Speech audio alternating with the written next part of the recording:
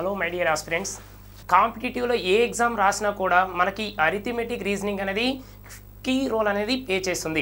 అంటే ఒక రకంగా చెప్పాలంటే fifty percent of the syllabus అనేది ఈ అర్థమెటిక్ రీజనింగ్ అనేది ఉంటుంది.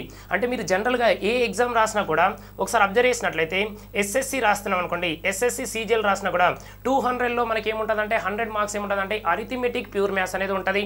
నెక్స్ట్ బ్యాంకింగ్ చూసినట్లయితే బ్యాంకింగ్ సెక్టార్ చూసినట్లయితే ఈ బ్యాంకింగ్లో కూడా మనకి ఎన్ని ఉంటాయంటే టూ హండ్రెడ్లో హండ్రెడ్ మార్క్స్ అనేది ఈ అరిథమెటిక్ రీజనింగ్ అనేది ఉంటుంది. కాబట్టి ఒకసారి చూడండి. నెక్స్ట్ ఇప్పుడు మనం రాసే ఎస్ఐ కావచ్చు అంటే ఏపీ ఎస్ఐ కావచ్చు లేదా తెలంగాణ ఎస్ఐ కావచ్చు ఈ ఎస్ఐలో చూసినట్లయితే మనకి ఎన్ని మార్క్స్ వస్తాయి అంటే టూ హండ్రెడ్ అనేది four out of four hundred marks వస్తాయి. ఫోర్ హండ్రెడ్కి ఎన్ని వస్తాయి? టూ హండ్రెడ్ మార్క్స్ అనేది వస్తాయి. ఒకవేళ కానిస్టేబుల్ చూసినట్లయితే మనం పీసీ చూసినట్లయితే ఎన్ని మార్క్స్ వస్తాయంటే ఫిఫ్టీ మార్క్స్ వస్తుంది. అవుట్ ఆఫ్ టూ హండ్రెడ్ మార్క్స్కు అవుట్ ఆఫ్ టూ హండ్రెడ్ మార్క్స్కు. మీరు ఇంకా తర్వాత ఇక్కడ ఎన్టీపీసీ నెక్స్ట్ తర్వాత ఆర్ఆర్బి ఈ గ్రూప్ టీవి చూసినట్లయితే ఎన్టీపీసీ కావచ్చు తర్వాత గ్రూప్ డి కావచ్చు నెక్స్ట్ ఏ ఎగ్జామ్ చూసినా కూడా ఇక్కడ హండ్రెడ్లో ఎన్ని మార్క్స్ వస్తాయి అంటే ఫిఫ్టీ ప్లస్ వస్తాయి. అంటే స్టార్టింగ్ రాసిన వాళ్ళకు ఎంత వచ్చినాయి అంటే ఎందుకంటే ఇది సిబిటి ఎగ్జామ్ ఈ సిబిటి ఎగ్జామ్ ఎలా ఉంటాయంటే స్టార్టింగ్లో వాళ్ళకేమో ఫిఫ్టీ మార్క్స్ ఉంది. మీరు టూ థౌజండ్ ఫిఫ్టీన్లో చూసినట్లయితే లాస్ట్ రాసిన వాళ్ళకి ఎన్ని ఉన్నాయంటే ఎయిటీ మార్క్స్ కూడా వచ్చినాయి. కాబట్టి ఈ అరిథమెటిక్ రీజనింగ్ అనేది ఎంత ఇంపార్టెంటో మీకు తెలుసు. అంటే ఒక రకంగా చెప్పాలంటే మనకి ఏమని సిలబస్ అంటే మన జాబ్ను డిసైడ్ చేసేది ఏదైనా ఉందంటే ఈ అరిథమెటిక్ అండ్ రీజనింగ్ నెక్స్ట్ ఇప్పుడు మన గ్రూప్ ఫోర్ గురించి మాట్లాడినట్లయితే తెలంగాణ గ్రూప్ ఫోర్. ఈ తెలంగాణ గ్రూప్ ఫోర్ చూసినట్లయితే మనకి ఎన్ని మార్క్స్ వస్తాయంటే సెకండ్ పేపర్లో వన్ ఫిఫ్టీ అని ఉన్నది. వన్ ఫిఫ్టీ ఉంటే మరి ఈ అర్థమెటిక్ రీజనింగ్ అనేది వన్ ఫిఫ్టీ వస్తుందంటే last time two thousand eighteen question paper చూసినట్లయితే మనకి ఎన్ని మార్క్స్ వచ్చినాయి అంటే అరిథమెటిక్ను రీజనింగ్లోకి వెళ్ళి వన్ ట్వంటీ ఫైవ్ మార్క్స్ వచ్చినాయి అంటే వన్ ట్వంటీ ఫైవ్లో సెవెంటీ ఫైవ్ ఏమో రీజనింగ్ వచ్చినాయి తర్వాత అర్థమెటిక్ ఎంత వచ్చినాయి అంటే ఫిఫ్టీ మార్క్స్ అనేది వచ్చినాయి ఓకేనా? నెక్స్ట్ తర్వాత మీరు ఎఫ్ఎస్ఓ కానీ ఎఫ్బిఓ కానీ రాసినట్లయితే ఎఫ్బిఓ లేదా ఎఫ్ఎస్ఓ నెక్స్ట్ ఎఫ్ఆర్ఓ రాసినా కూడా మనకు దీంట్లో కీ రోల్ ఏది ఉందా ఉందంటే అరిథమెటిక్ అండ్ ప్యూర్ మ్యాథ్స్ ఉంటుంది అక్కడ. ప్యూర్ మ్యాథ్స్ అనేది ఉంటుంది. అంటే fifty percent of the syllabus ఉంటుంది. అంటే త్రీ హండ్రెడ్ మార్క్స్ ఉంటే వన్ ఫిఫ్టీ మార్క్స్ అనేది ఏముంటుంది అంటే ఈ అరిథమెటిక్ అండ్ ప్యూర్ మ్యాథ్స్ ఉంటుంది. ఓకే నెక్స్ట్ లాస్ట్ ఇక్కడ మనం చూసినట్లయితే ఇక్కడ ఏమొచ్చిందంటే డిఏఓ మన తెలంగాణలో జరిగిన అంటే వచ్చిన నోటిఫికేషన్ పరిశీలించినట్లయితే డిఏఓ ఎగ్జామ్ ఉంది. ఈ డిఏఓ ఎగ్జామ్లో మనకి ఎన్ని మార్క్స్ ఉన్నాయంటే సెకండ్ పేపర్లో త్రీ హండ్రెడ్ మార్క్స్ ఉన్నది. నెక్స్ట్ ఫస్ట్ పేపర్లో వచ్చేసి ఈ రీజనింగ్ ఉంటుంది కాబట్టి ఒక ఫిఫ్టీన్ నుంచి ట్వంటీ మార్క్స్ వస్తాయి. అంటే almost all three hundred twenty marks వస్తాయి.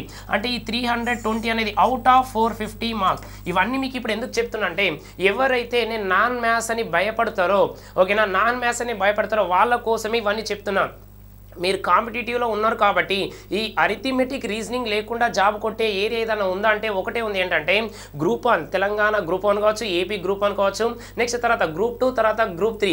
ఒకవేళ కానీ మన ఆంధ్రప్రదేశ్ వాళ్ళకి చూసినట్లయితే గ్రూప్ వన్లో సెకండ్ పేపర్ ఉంటుంది. సెకండ్ పేపర్లో వన్ ట్వంటీ మార్క్స్ ఉన్నట్లయితే సిక్స్టీ మార్క్స్ అనేది అరిథమెటిక్ రీజనింగ్ వస్తుంది. అంటే అక్కడ కూడా తప్పించుకోవడానికి ఛాన్స్ లేదు. చాలామంది ఏం చేశారంటే మ్యా నాన్ మ్యాథ్స్ వాళ్ళు టెన్త్ క్లాస్ అయిపోయిన తర్వాత మ్యాథ్స్కి భయపడి ఏం చేశారంటే అది సిఈసి కావచ్చు లేదా బైపీసీ కావచ్చు అలా తీసుకున్నారు. కానీ మళ్ళీ తిరిగి ఎక్కడికి వచ్చినామంటే మనం కాంపిటేటివ్ రంగానికి వచ్చినాం. అంటే ఇక్కడ మనం ఖచ్చితంగా తప్పించుకోవడానికి ఛాన్స్ లేదు. కాబట్టి మీరు ఏ ఎగ్జామ్ రాసినా మనను జాబ్ డిసైడ్ చేసేది ఒకటే. ఏంటిది?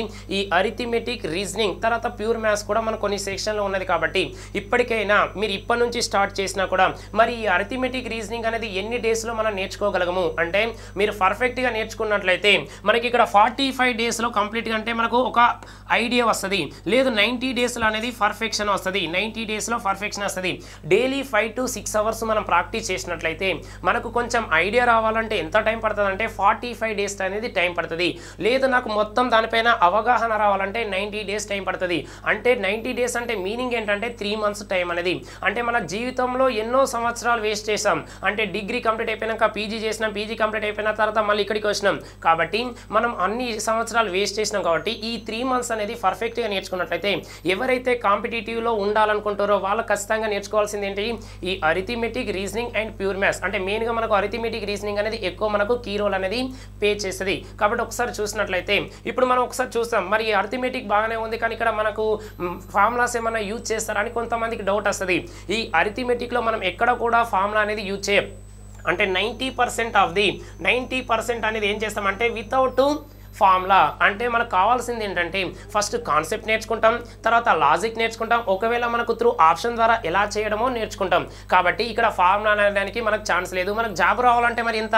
నైంటీ పర్సెంట్ అవసరం అంటే నైంటీ పర్సెంట్ అవసరం లేదు. ఎంత పర్సెంట్ అవసరం? ఓన్లీ సెవెంటీ పర్సెంట్ మాత్రమే అవసరం. అవును కదా? అంటే క్వశ్చన్ పేపర్ టఫ్ ఉంటే అది సిక్స్టీ ఫైవ్ నుంచి సెవెంటీ మధ్యలో వస్తుంది. అంటే మనకు జాబ్ రావాలంటే మినిమం ఎంత ఉండాలంటే సెవెంటీ పర్సెంట్ ఉండాలి. ఒకవేళ క్వశ్చన్ పేపర్ కొంచెం సింపుల్గా ఉంది అనుకోండి ఒక సెవెంటీ నుంచి ఎయిటీ మధ్యలో పర్సెంట్ వస్తే మనకు జాబ్ వస్తుంది. అంటే ఇప్పుడు నేను ఏం చెప్తున్నా నైంటీ పర్సెంట్ అనేది వితౌట్ ఫార్ములా వితౌట్ ఫార్ములా ఆ లాజిక్ ఏంటో మనం నేర్చుకున్నట్లయితే మనకి ఈజీగా గెట్ అనే ఛాన్స్ ఉంది కాబట్టి.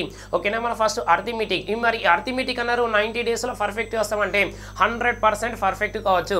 అంటే మీరు జిఎస్లో ఎలా అయితే చదువుతారో లింక్ బేస్ చేసుకొని ఈ అరిథమెటిక్లో కూడా మనం ఒక చాప్టర్ వైజ్గా అంటే యూనిట్ వైజ్గా డివైడ్ చేసుకొని ఒక చాప్టర్ నేర్చుకుంటే దానికి లింక్ బేస్గా నడుచుకున్నట్లయితే ఓకేనా ఈజీగా మనకు క్రాక్ చేయడానికి ఛాన్స్ ఉంది. మరి ఈ అరిథమెటిక్లో ఎన్ని చాప్టర్స్ ఉంటాయి? అరిథమెటిక్లో ఎన్ని చాప్టర్స్ ఉంటాయి అంటే ఒకసారి చూస్తాం. మనం యూనిట్ వైజ్గా అనుకున్నాం కదా? యూనిట్ వైజ్గా చూసినట్లయితే మరి ఎన్ని యూనిట్స్గా మనం డివైడ్ చేస్తాం ఈ అరిథమెటిక్ను? ఎన్ని యూనిట్స్గా డివైడ్ చేస్తామంటే ఫైవ్ యూనిట్స్గా డివైడ్ చేస్తాం. మరి ఎన్ని చాప్టర్లు ఉన్నాయంటే ఎయిటీన్ చాప్టర్లే ఉన్నాయి. అవునా కదా? ఎయిటీన్ చాప్టర్సే ఉన్నాయి. మరి ఈ ఎయిటీన్ చాప్టర్స్ నేను మాక్సిమం చేసి చెప్తున్నా మీకు. ఒక్కొక్క చాప్టర్ ఫైవ్ డేస్ నేర్చుకున్నా కూడా అంతా eighty five sir ninety days. మరి నైంటీ డేస్ అంటే మీనింగ్ ఏంటిది మనకు? త్రీ మంత్స్ వస్తుంది. త్రీ మంత్సే కదా. ఓకే నేను స్టార్టింగే చెప్పిన మనకు కొంచెం ఐడియా రావాలంటే ఓకే ఐడియా రావాలంటే ఫార్టీ ఫైవ్ డేస్ టైం పడుతుంది. నాకు ఫుల్ పర్ఫెక్షన్ రావాలంటే ఎంత టైం పడుతుంది అనుకున్నాం? నైంటీ డేస్ అనేది టైం పడుతుంది. నైంటీ డేస్ అంటే మీనింగ్ ఏంటి త్రీ మంత్సే కదా. కాబట్టి ఈ త్రీ మంత్స్ కష్టపడినట్లయితే మీరు ఏదైతే అనుకుంటారో అది ఎస్ఐ కానిస్టేబుల్ కావచ్చు లేదా గ్రూప్ ఫోర్ కావచ్చు లేదా డిఏఓ కావచ్చు వీటిపైన మనకి ఈజీగా జాబ్ వచ్చే ఛాన్సెస్ ఉంది. కాబట్టి వీటిపైన ఫోకస్ పెట్టడానికి ట్రై చేయండి. మ్యాథ్స్ అయినా నాన్ మ్యాథ్స్ అయినా మీకు అర్థమయ్యే విధంగా నాన్ మ్యాథ్స్ విద్యార్థులకు ఓకే నేను ఆల్రెడీ చెప్తున్నాను మ్యాథ్స్ ఎలాగైనా చేస్తారు. నాన్ మ్యాథ్స్ స్టూడెంట్స్ పైన నేను స్టార్టింగ్ నుంచే చెప్తున్నాం. అంటే మనకు బేసిక్ లెవెల్ నుంచి హై లెవెల్. ఇప్పుడు కూడా క్లాస్ ఎలా ఉంటుందంటే స్టార్టింగ్ నాన్ మ్యాథ్స్ వాళ్ళతోటి స్టార్ట్ చేస్తాం. ఇక క్వశ్చన్కి వచ్చే ఎలా ఉంటుందంటే మనకు ఫస్ట్ బేసిక్ లెవెల్గా నేర్చుకుంటాం.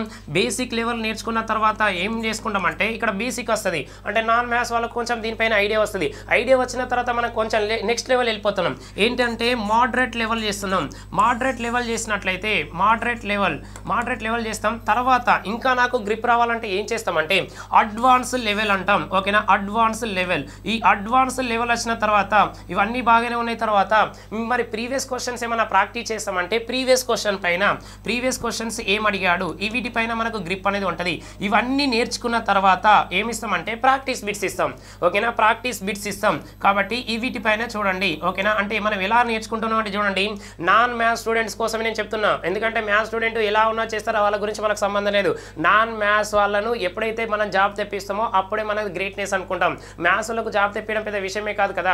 ఓకేనా? నాన్ మ్యాథ్స్ వాళ్ళు ఏం నేర్చుకుంటామంటే ఫస్ట్ ఏం నేర్చుకోవాలి? బేసిక్ నేర్చుకోవాలి. బేసిక్ నేర్చుకున్న తర్వాత మనం ఏం చెప్తామంటే మోడరేట్ లెవెల్ క్వశ్చన్ చెప్తాం. తర్వాత అడ్వాన్స్ లెవెల్ క్వశ్చన్ చెప్తాం. తర్వాత ఇక్కడ ఏముంటుందంటే ప్రీవియస్ క్వశ్చన్ నేర్చుకుంటాం. ఎందుకంటే మనకు ఐడియా వస్తుంది. ఐడియా వచ్చిన తర్వాత ఏం నేర్చుకుంటాం? ప్రీవియస్ క్వశ్చన్ పైన అవగాహన అనేది ఉండాలి. అవునా కదా? ఇవన్నీ నేర్చుకున్న తర్వాత నాకు బైక్ బైక్ రావాలి. బైక్ బైక్ రావాలంటే ఏం చేయాలంటే ప్రాక్టీస్ బిట్స్ అని చేయాలి. అది టెస్ట్ సిరీస్ కావచ్చు లేకుంటే ఎక్కడన్నా మనకి ఈనాడు కాలమిస్ట్ లేకుంటే ఎక్కడన్నా క్వశ్చన్స్ కనపడతాయి కదా ఆ క్వశ్చన్స్ గ్యాదర్ చేసి ప్రాక్టీస్ చేసుకున్నాం అనుకోండి. ఓకేనా? దీంట్లో బైక్ బై ఛాన్సే ఉంటుంది. ఇంకొకటి అర్థం చేసుకోండి. జిఎస్ అనేది ఎంత చదివినా కూడా మనకు ఒక బిట్ అనేది మేము ఉంటుంది. కానీ అదే అరిథిమెటిక్ రీజనింగ్ చూసినట్లయితే ఈ అరిథిమెటిక్ రీజనింగ్ చూసినట్లయితే మాక్సిమం మార్క్స్ కొట్టడానికి ఛాన్స్ ఎక్కువ ఉంది. ఎందుకు నేను మాక్సిమం అంటున్నా అంటే ఈ అరిథిమెటిక్ తర్వాత రీజనింగ్ అనేది ఎలా ఉంటుంది అంటే లిమిటెడ్ సిలబస్ ఉంటుంది. ఓకేనా? ఈ లిమిటెడ్ సిలబస్ ఉంటుంది కాబట్టి ఈ లిమిటెడ్ సిలబస్లో మనం బైక్ బైక్ కొట్టచ్చు. మినిమం నైంటీ పర్సెంట్ కొట్టచ్చు. మినిమం అని చెప్పిన నేను. మరి మాక్సిమం టైం ఉంటే మనకు టైం ఉంటే హండ్రెడ్ పర్సెంట్ కొట్టే ఛాన్సెస్ ఎక్కువ ఉంది. అవునా కదా? మరి మనకు జాబ్ రావాలంటే మనకు నైంటీ పర్సెంట్ అవసరం లేదు సెవెంటీ పర్సెంట్ అని చెప్పినా కదా ఆ సెవెంటీ పర్సెంట్ చాలా సరిపోతుంది. సెవెంటీ పర్సెంట్ పర్ఫెక్ట్ చేసినా కూడా ఇక రిమైనింగ్ థర్టీ ఉంటాయి కదా ఆ థర్టీ పర్సెంట్లో అన్ని ఏలు అన్ని బీలు అన్ని సీలు పెట్టినా కూడా ఓకేనా కనీసానికి ఒక ఫైవ్ మార్క్స్ అనేది యాడ్ అవుతుంది కాబట్టి సెవెంటీ ఫైవ్ అనేది ఈజీగా వస్తుంది. ఓకేనా సెవెంటీ ఫైవ్ అనేది మనకు మ్యాటర్ కాదు. ఏంటిదంటే మనకు స్కోర్ ఏదైతే సబ్జెక్టులు ఉందో దానిపైన ఎక్కువ కాన్సన్ట్రేషన్ పెట్టి రిమైనింగ్ ఏ పైన పెడతామంటే జిఎస్ పైన పెట్టడానికి ట్రై చేయండి. ఇప్పుడు మనం నేర్చుకునే క్లాస్ దేనికి సంబంధించినది అంటే ఎస్ఐ కావచ్చు తెలంగాణ ఎస్ఐ కానిస్టేబుల్ మెయిన్స్కి సంబంధించింది. ఒకవేళ ఏపీ వాళ్ళే ఉన్నట్లయితే వాళ్ళకు ప్రిలిమ్స్ ఎగ్జామ్ ఉంది కదా ఫిబ్రవరి నైన్టీన్త్ రోజు వాళ్ళ కోసం తర్వాత తెలంగాణ గ్రూప్ ఫోర్ నోటిఫికేషన్ పడ్డది. కాబట్టి వాళ్ళ కోసం ఈ క్లాస్ అనేది స్టార్ట్ చేయడం అనేది జరుగుతుంది. ఒకవేళ డిఏఓ ఎగ్జామ్ కూడా ఫిబ్రవరి ట్వంటీ సిక్స్ అని ఉన్నది కదా వాళ్ళు కూడా ఒకసారి చూడండి. ఓకే ఫస్ట్ మనం సిలబస్ గురించి డిస్కస్ చేసినట్లయితే ఈ సిలబస్ అనేది ఎన్ని ఉంటాయి అనుకున్నాం మనం? ఫైవ్ యూనిట్స్ అనుకున్నాం ఎయిటీన్ చాప్టర్స్ అనుకున్నాం కదా. ఓకే ఎలా డివైడ్ చేస్తామంటే ఒక చాప్టర్ నేర్చుకుంటే దానికి లింక్ బేస్ ఒకటి చాప్టర్ అనేది నేర్చుకోవాలి. ఓకేనా నేను ఎలా రాస్తున్నా అంటే చూడండి. ఈ ఫస్ట్ వన్ రాస్తున్నా. ఏంటిది? రేషియో అండ్ ప్రపోర్షన్ అనుకున్నాం. ఓకేనా రేషియో ప్రపోర్షన్ అంటే మీనింగ్ ఏంటంటే రేషియో అండ్ ప్రపోర్షన్. ఓకే తెలుగులో ఏమంటామంటే నిష్పత్తి అనుపాతం అంటాం. ఏమంటాం? నిష్పత్తి అనుపాతం. ఓకేనా? సెకండ్ వన్ చూసినట్లయితే నిష్పత్తి అనుపాతం. సెకండ్ వన్ ఇది నేర్చుకున్నట్లయితే మనకి ఈజీగా వచ్చేది ఏ ఏరియా ఉందంటే పార్ట్నర్షిప్ అనుకున్నాం. ఓకేనా? ఏముంది ఇక్కడ? పార్ట్నర్షిప్ ఓకేనా? పార్ట్నర్షిప్ ఈ పార్ట్నర్షిప్ అంటే ఏమనుకున్నాం అంటే భాగస్వామ్యం. ఓకేనా? ఏముంటది? భాగస్వామ్యం ఉంటుంది. నెక్స్ట్ తర్వాత చూసినట్లయితే థర్డ్ వన్ థర్డ్ వన్ ఏముందంటే ఏజెస్ ఉంటుంది. ఏజెస్ ఓకేనా? ఏజెస్ అంటే మీనింగ్ ఏంటిది? వయస్సులు. వయస్సులు అనుకున్నాం. ఓకేనా? నెక్స్ట్ తర్వాత ఫోర్త్ చూసిన చూసినట్లయితే ఫోర్త్ ఏముంటుందంటే ఏజెస్ అయిపోయిన తర్వాత యావరేజ్ అనేది ఉంటుంది. యావరేజ్ ఓకేనా? యావరేజ్ అంటే ఏంటిదంటే సగటు లేదా సరాసరి సగటు లేదా సరాసరి. ఓకేనా? ఇది చూసినట్లయితే ఫస్ట్ యూనిట్ అనేది కంప్లీట్ అయిపోతుంది. మనం ఎన్ని యూనిట్స్ అనుకున్నాం? ఫైవ్ యూనిట్స్ అనుకున్నాం కదా. ఫైవ్ యూనిట్స్ అనేది అనుకున్నట్లయితే ఫస్ట్ చాప్టర్ ఏముంటుంది? రేషియో ప్రపోర్షన్ ఉంటుంది. సెకండ్ వన్ ఏముంటుంది అంటే పార్ట్నర్షిప్ ఉంటుంది. థర్డ్ వన్ ఏముందంటే ఏజెస్ ఉంటుంది. ఫోర్త్ వన్ ఏముంటుంది? యావరేజ్ అంటే సరాసరి లేదా సగటు అని అనుకున్నాం.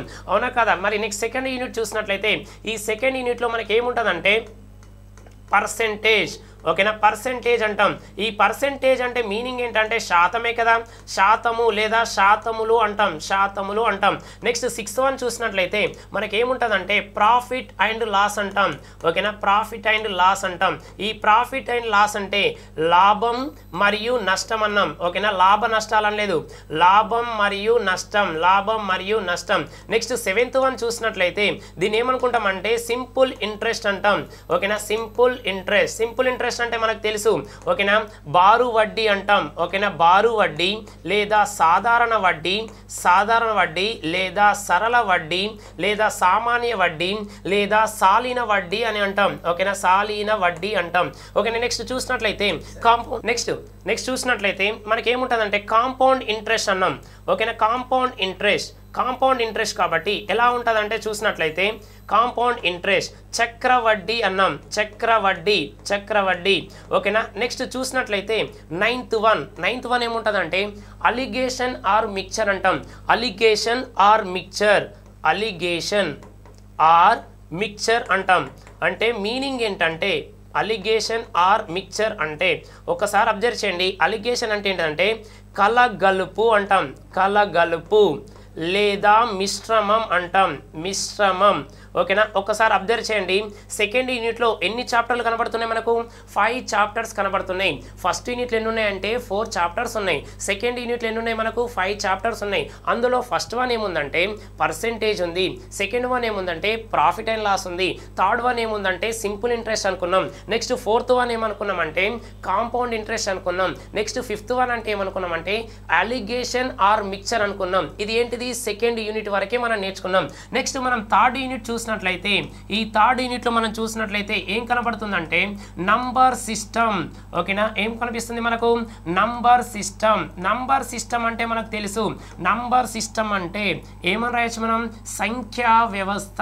ఏమని రాయొచ్చు? సంఖ్యా వ్యవస్థ అని రాయొచ్చు. ఓకేనా? సెకండ్ వన్ చూసినట్లయితే మనకి ఏముంటుందంటే సింప్లిఫికేషన్. ఏముంటుంది మనకు? సింప్లిఫికేషన్ పేర్లోనే ఉంది. సింప్లిఫికేషన్ అంటే సూక్ష్మీకరణ. ఏముంటుంది? సూక్ష్మీకరణ అంటాం. ఓకేనా? నెక్స్ట్ తర్వాత థర్డ్ చూసినట్లయితే ఇందులో థర్డ్ చూసినట్లయితే ఏముంటుందంటే ఎల్సిఎం ఆర్ మరియు హెచ్సిఎఫ్ అంటాం. LCM and HCF. అంటే ఏంటిది? కసాగు. నెక్స్ట్ ఏమంటామంటే గసాబా అంటాం. కసాగు మరియు గసాబా అంటాం. నెక్స్ట్ థర్టీన్ చూసినట్లయితే థర్టీన్ చూసినట్లయితే ఏమంటామంటే డిజిటల్ సమ్ మెథడ్ ఓకేనా డిజిటల్ సమ్ మెథడ్ అంటాం. ఓకేనా? ఒకసారి అబ్జర్వ్ చూడండి దీన్ని తెలుగులో అయినా ఇంగ్లీష్లో అయినా మనం ఏ విధంగా అనుకుంటామంటే డిజిటల్ సమ్ మెథడే అనుకుంటాం. అంటే థర్డ్ యూనిట్లో మనకు ఫస్ట్ వన్ ఏముందంటే సిం ఏముంది? నంబర్ సిస్టమ్ ఉంది. అంటే సంఖ్యా వ్యవస్థ. సెకండ్ వన్ ఏముందంటే సింప్లిఫికేషన్ అంటే సూక్ష్మీకరణ ఉంది. నెక్స్ట్ థర్డ్ చూసినట్లయితే మనకేముందంటే ఎల్సిఎం అండ్ ఎస్సిఎఫ్ అంటే కసాగు మరియు గసాబా అనుకున్నాం. ఫోర్త్ వన్ చూసినట్లయితే మనకేముందంటే డిజిటల్ సమ్ మెథడ్ ఉంది. అంటే ఇప్పుడు మనకు థర్డ్ యూనిట్లో ఎన్ని చాప్టర్స్ ఉన్నాయంటే త్రీ ఉన్నాయి. నెక్స్ట్ ఫోర్త్ వన్ చూసినట్లయితే ఓకేనా ఫోర్త్ వన్లో ఫస్ట్ వన్ ఏముందంటే టైమ్ మైండ్ వర్క్ అనుకున్నాం ఓకేనా time and work time and work అన్నాం. ఈ టైమ్ మైండ్ వర్క్ అంటే మీనింగ్ ఏంటంటే కాలం మరియు పని అంటాం. ఏమంటాం? కాలం మరియు పని అనాలి. నెక్స్ట్ ఫిఫ్టీన్త్ వన్ చూసినట్లయితే ఏముంటుందంటే పైప్స్ అండ్ సిస్టమ్స్ అంటాం. ఓకేనా ఏముంటుంది ఇక్కడ? పైప్స్ అండ్ సిస్టమ్స్ అంటాం. అంటే ఏంటిది? మనకు పైపులు మరియు గొట్టాలు అంటాం. పైపులు లేదా గొట్టాలు. ఓకేనా ఒక్కసారి చూసినట్లయితే ఇదెంత? ఫోర్త్ యూనిట్లో ఫోర్త్ యూనిట్లో ఎన్ని చాప్టర్లు ఉన్నాయి? ఫస్ట్ వన్ ఏమున్నది? టైమ్ అండ్ వర్క్ అనుకున్నాం. సెకండ్ వన్ ఏముందంటే పైప్స్ అండ్ కిస్టన్ లేదా సిస్టమ్స్ అంటాం. అంటే పైపులు గొట్టాలు లేదా పంపులు తొట్టెలు అంటాం. ఓకే కదా? అంటే ఎన్ని చాప్టర్స్ ఉన్నాయి అన్నట్టు మనకు ఓన్లీ టూ చాప్టర్సే ఉన్నాయి. ఏమున్నాయి? ఓన్లీ టూ చాప్టర్సే ఉన్నాయి. నెక్స్ట్ ఫిఫ్త్ యూనిట్ చూసినట్లయితే మనకు ఫిఫ్త్ యూనిట్ చూస్తున్నాం. ఈ ఫిఫ్త్ యూనిట్లో మనకి ఎన్ని ఉన్నాయంటే టైమ్ అండ్ డిస్టెన్స్ అంటాం. ఓకేనా? Time and distance. Okay? Time and distance అంటే మనం జనరల్గా ఏమనుకుంటామంటే టైమ్ అండ్ డిస్టెన్స్ అంటే కాలం మరియు దూరం. కాలం మరియు దూరం అనుకుంటాం. ఇది డిస్టెన్స్ ఓకేనా? నెక్స్ట్ తర్వాత సెవెంటీన్త్ చూసినట్లయితే బోట్స్ అండ్ స్ట్రీమ్స్ అంటాం. ఓకేనా? ఏమున్నది? బోట్స్ అండ్ స్ట్రీమ్స్ అంటాం. అంటే ఏంటిది? పడవలు మరియు ప్రవాహాలు. పడవలు మరియు ప్రవాహాలు. నెక్స్ట్ ఎయిటీన్ చూసినట్లయితే రేసెస్ అంటాం. రేసెస్. అంటే ఏమనుకుంటాం? ఇక్కడ పరుగు పందెములు. ఏమనుకోవాలి? పరుగు మరియు పందెములు. పరుగు పందెములు. ఓకేనా? ఇది అర్థమెటిక్ సిలబస్ అనేది. మీరు మ్యాథ్స్ అయినా నాన్ మ్యాథ్స్ అయినా మీకు కావాల్సింది ఏంటంటే ఫస్ట్ మనకున్న ఏంటిది? ఇండెక్స్ అనేది మైండ్లో పెట్టుకోవడానికి ట్రై చేయాలి. మనకి ఇండెక్సే గుర్తు లేనప్పుడు మరి చాప్టర్లో ఉన్న క్వశ్చన్స్ ఏం గుర్తుంటాయి? ఓకేనా? ఇక్కడ బట్టి పట్టడానికి కాదు. ప్రతి ఒక్క చాప్టర్లో మనం ప్రతి ఒక్క క్వశ్చన్ ఎలా చేస్తామంటే ఫస్ట్ మనం ఏం చేస్తాం? ఎక్స్ మోడల్లో ఎలా చేయాలని నేర్చుకుంటాం? తర్వాత కాన్సెప్ట్ అయిపోయింది కదా మనకు. నెక్స్ట్ తర్వాత ఆ లాజిక్ ఏంటో కనుక్కుంటాం. తర్వాత ఒకవేళ ఆప్షన్ ద్వారా రావాలా ఎట్లా కనుక్కుంటాం? ఓకేనా? కాబట్టి ఈ మనకు త్రీ మెథడ్స్ అనేది ఈజీగా నేర్చుకుంటాం. మన బుక్ చూసినట్లయితే మనకు త్రీ నుంచి ఫైవ్ మెథడ్స్ అనేది ఎలా అయితే రాసినామో క్లాస్లో కూడా అదే విధంగా మీకు ఏదైతే ఈజీయెస్ట్ వే ఉంటుందో అదే పద్ధతిలో నేను మీకు నేర్పించబడుతుంది. ఓకేనా? ఇప్పుడు మనకు కావాల్సింది ఏంటిది? అరిథమెటిక్ సిలబస్ అనుకున్నాం. ఈ అరిథమెటిక్ సిలబస్ ఎన్ని ఉన్నాయంటే మనం చెప్పినాం కదా. ఎన్ని చాప్టర్స్ ఉన్నాయంటే ఎయిటీన్ చాప్టర్స్ ఉన్నాయి. ఎయిటీన్ చాప్టర్స్ ఉన్నాయి ఎన్ని యూనిట్స్ ఉన్నాయంటే ఫైవ్ యూనిట్స్ అనుకున్నాం. కానీ ఇక్కడ చాలా మంది ఏం చేస్తామంటే మరి ఇక్కడ మెన్సురేషన్ అనేది కూడా అరిథిమెటికే కదా. అరిథిమెటిక్ అనేది అరిథిమెటిక్లో మెన్సురేషన్ అనేది ఉండదు. ఏముంటుంది అది ప్యూర్ మ్యాథ్స్లో ఉంటుంది కాబట్టి నేను ఇక్కడ మీకు రాయలేదు. మనం ఫాలో అయ్యేది ఎక్కడ అంటే నార్త్ ఇండియా వాళ్ళను. ఓకేనా మీరు బ్యాంకింగ్ ఎగ్జామ్ రాసినా ఎస్ఎస్సి సీజీఎల్ రాసినా లేదా ఎన్టీపీసీ ఆర్ఆర్బి గ్రూప్ టీ రాసినా కూడా ఓకేనా అక్కడ ఎక్కడికి వెళ్ళి క్వశ్చన్స్ వస్తాయంటే నార్త్ ఇండియా వాళ్ళ క్వశ్చన్స్ వస్తాయి. మీరు నార్త్ ఇండియా వాళ్ళ క్లాస్ కానీ లేదా వాళ్ళ బుక్స్ కానీ చూసినట్లయితే మెన్సురేషన్ అనేది తర్వాత నంబర్ సిస్టమ్ అనేది కూడా దేనికి సంబంధించిందంటే వాళ్ళు అడ్వాన్స్డ్ మ్యాథ్స్ అంటాం దాన్నే ప్యూర్ మ్యాథ్స్ అని మనం అంటాం. కాబట్టి అందులో రిలీజ్ చేస్తారు కాబట్టి ఇప్పుడు మనం నేర్చుకోవాల్సింది ఏంటంటే ఎయిటీన్ చాప్టర్స్ అనేది నేర్చుకుంటాం. ఓకే మెన్సురేషన్ కూడా నేనే చెప్తా. కాకపోతే ఇక్కడ ప్యూర్గా మనకున్నది ప్యూర్గా అర్థమెటిక్లో మనకున్న ఎన్ని చాప్టర్స్ అంటే ఎయిటీన్ చాప్టర్స్ అనుకుంటాం. ఓకేనా లాస్ట్ ఒకవేళ ఇన్ కేస్ మనకు మెన్సురేషనే కావాలనుకుంటే ఓకేనా మెన్సురేషనే కావాలనుకుంటే మనం లాస్ట్ క్లాస్లో నేర్చుకుంటాం. మెన్సురేషన్ అంటే ఇక్కడ ఏమేమి ఉంటాయంటే టూ డి ఉంటుంది. నెక్స్ట్ ఏముంటుంది అంటే త్రీ డి ఉంటుంది. అంటే ఏరియాస్ అండ్ వాల్యూమ్స్ అనేది ఉంటుంది. ఏముంటుంది? ఏరియాస్ అండ్ వాల్యూమ్స్ ఉంటుంది. అంటే దీన్నే మనం ఏమనుకుంటామంటే వైశాల్యం మరియు ఘన పరిమాణాలు అనుకుంటాం. ఓకే ఇవన్నీ నేర్చుకున్న తర్వాత లాస్ట్లో నేర్చుకునేది ఏంటంటే మెన్సురేషన్ ఓకేనా క్షేత్రమితి లేదా క్షేత్ర గణితం అంటాం. ఓకేనా?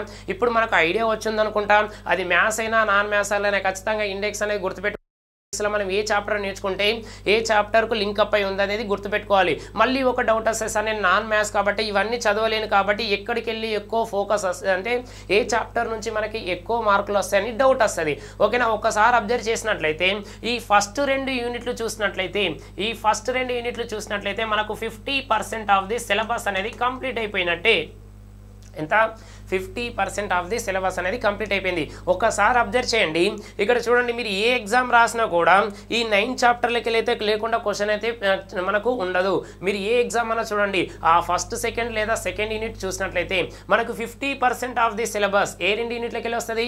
ఫస్ట్ యూనిట్ అండ్ సెకండ్ యూనిట్లకి వస్తుంది. ఓకేనా? ఎందుకంటే టోటల్ ఎయిటీన్లో నైన్ ఇక్కడ అయిపోయినాయి కదా నైన్ ఇక్కడ అయిపోయినాయి. తర్వాత కాన్సన్ట్రేషన్ చేయాల్సింది దేనిపైన చేయాలంటే నంబర్ సిస్టమ్ పైన చేయాలి. మీకు ఇక్కడ ఒక డౌట్ రావాలి. సార్ నంబర్ సిస్టమ్ అంటే ఓకే కానీ మరి ఇక్కడ మనకి ఇంకా అది ఫ్రాక్షన్స్ ఉంటాయి తర్వాత స్క్వేర్స్ ఉంటాయి క్యూబ్స్ ఉంటాయి యూనిట్ డిజిట్ ఉంటుంది నంబర్ ఆఫ్ జీరోస్ ఉంటాయి కదా మరి ఇవన్నీ ఎక్కడ రాసిరంటే మీరు కరెక్ట్ ఒకసారి చూడండి.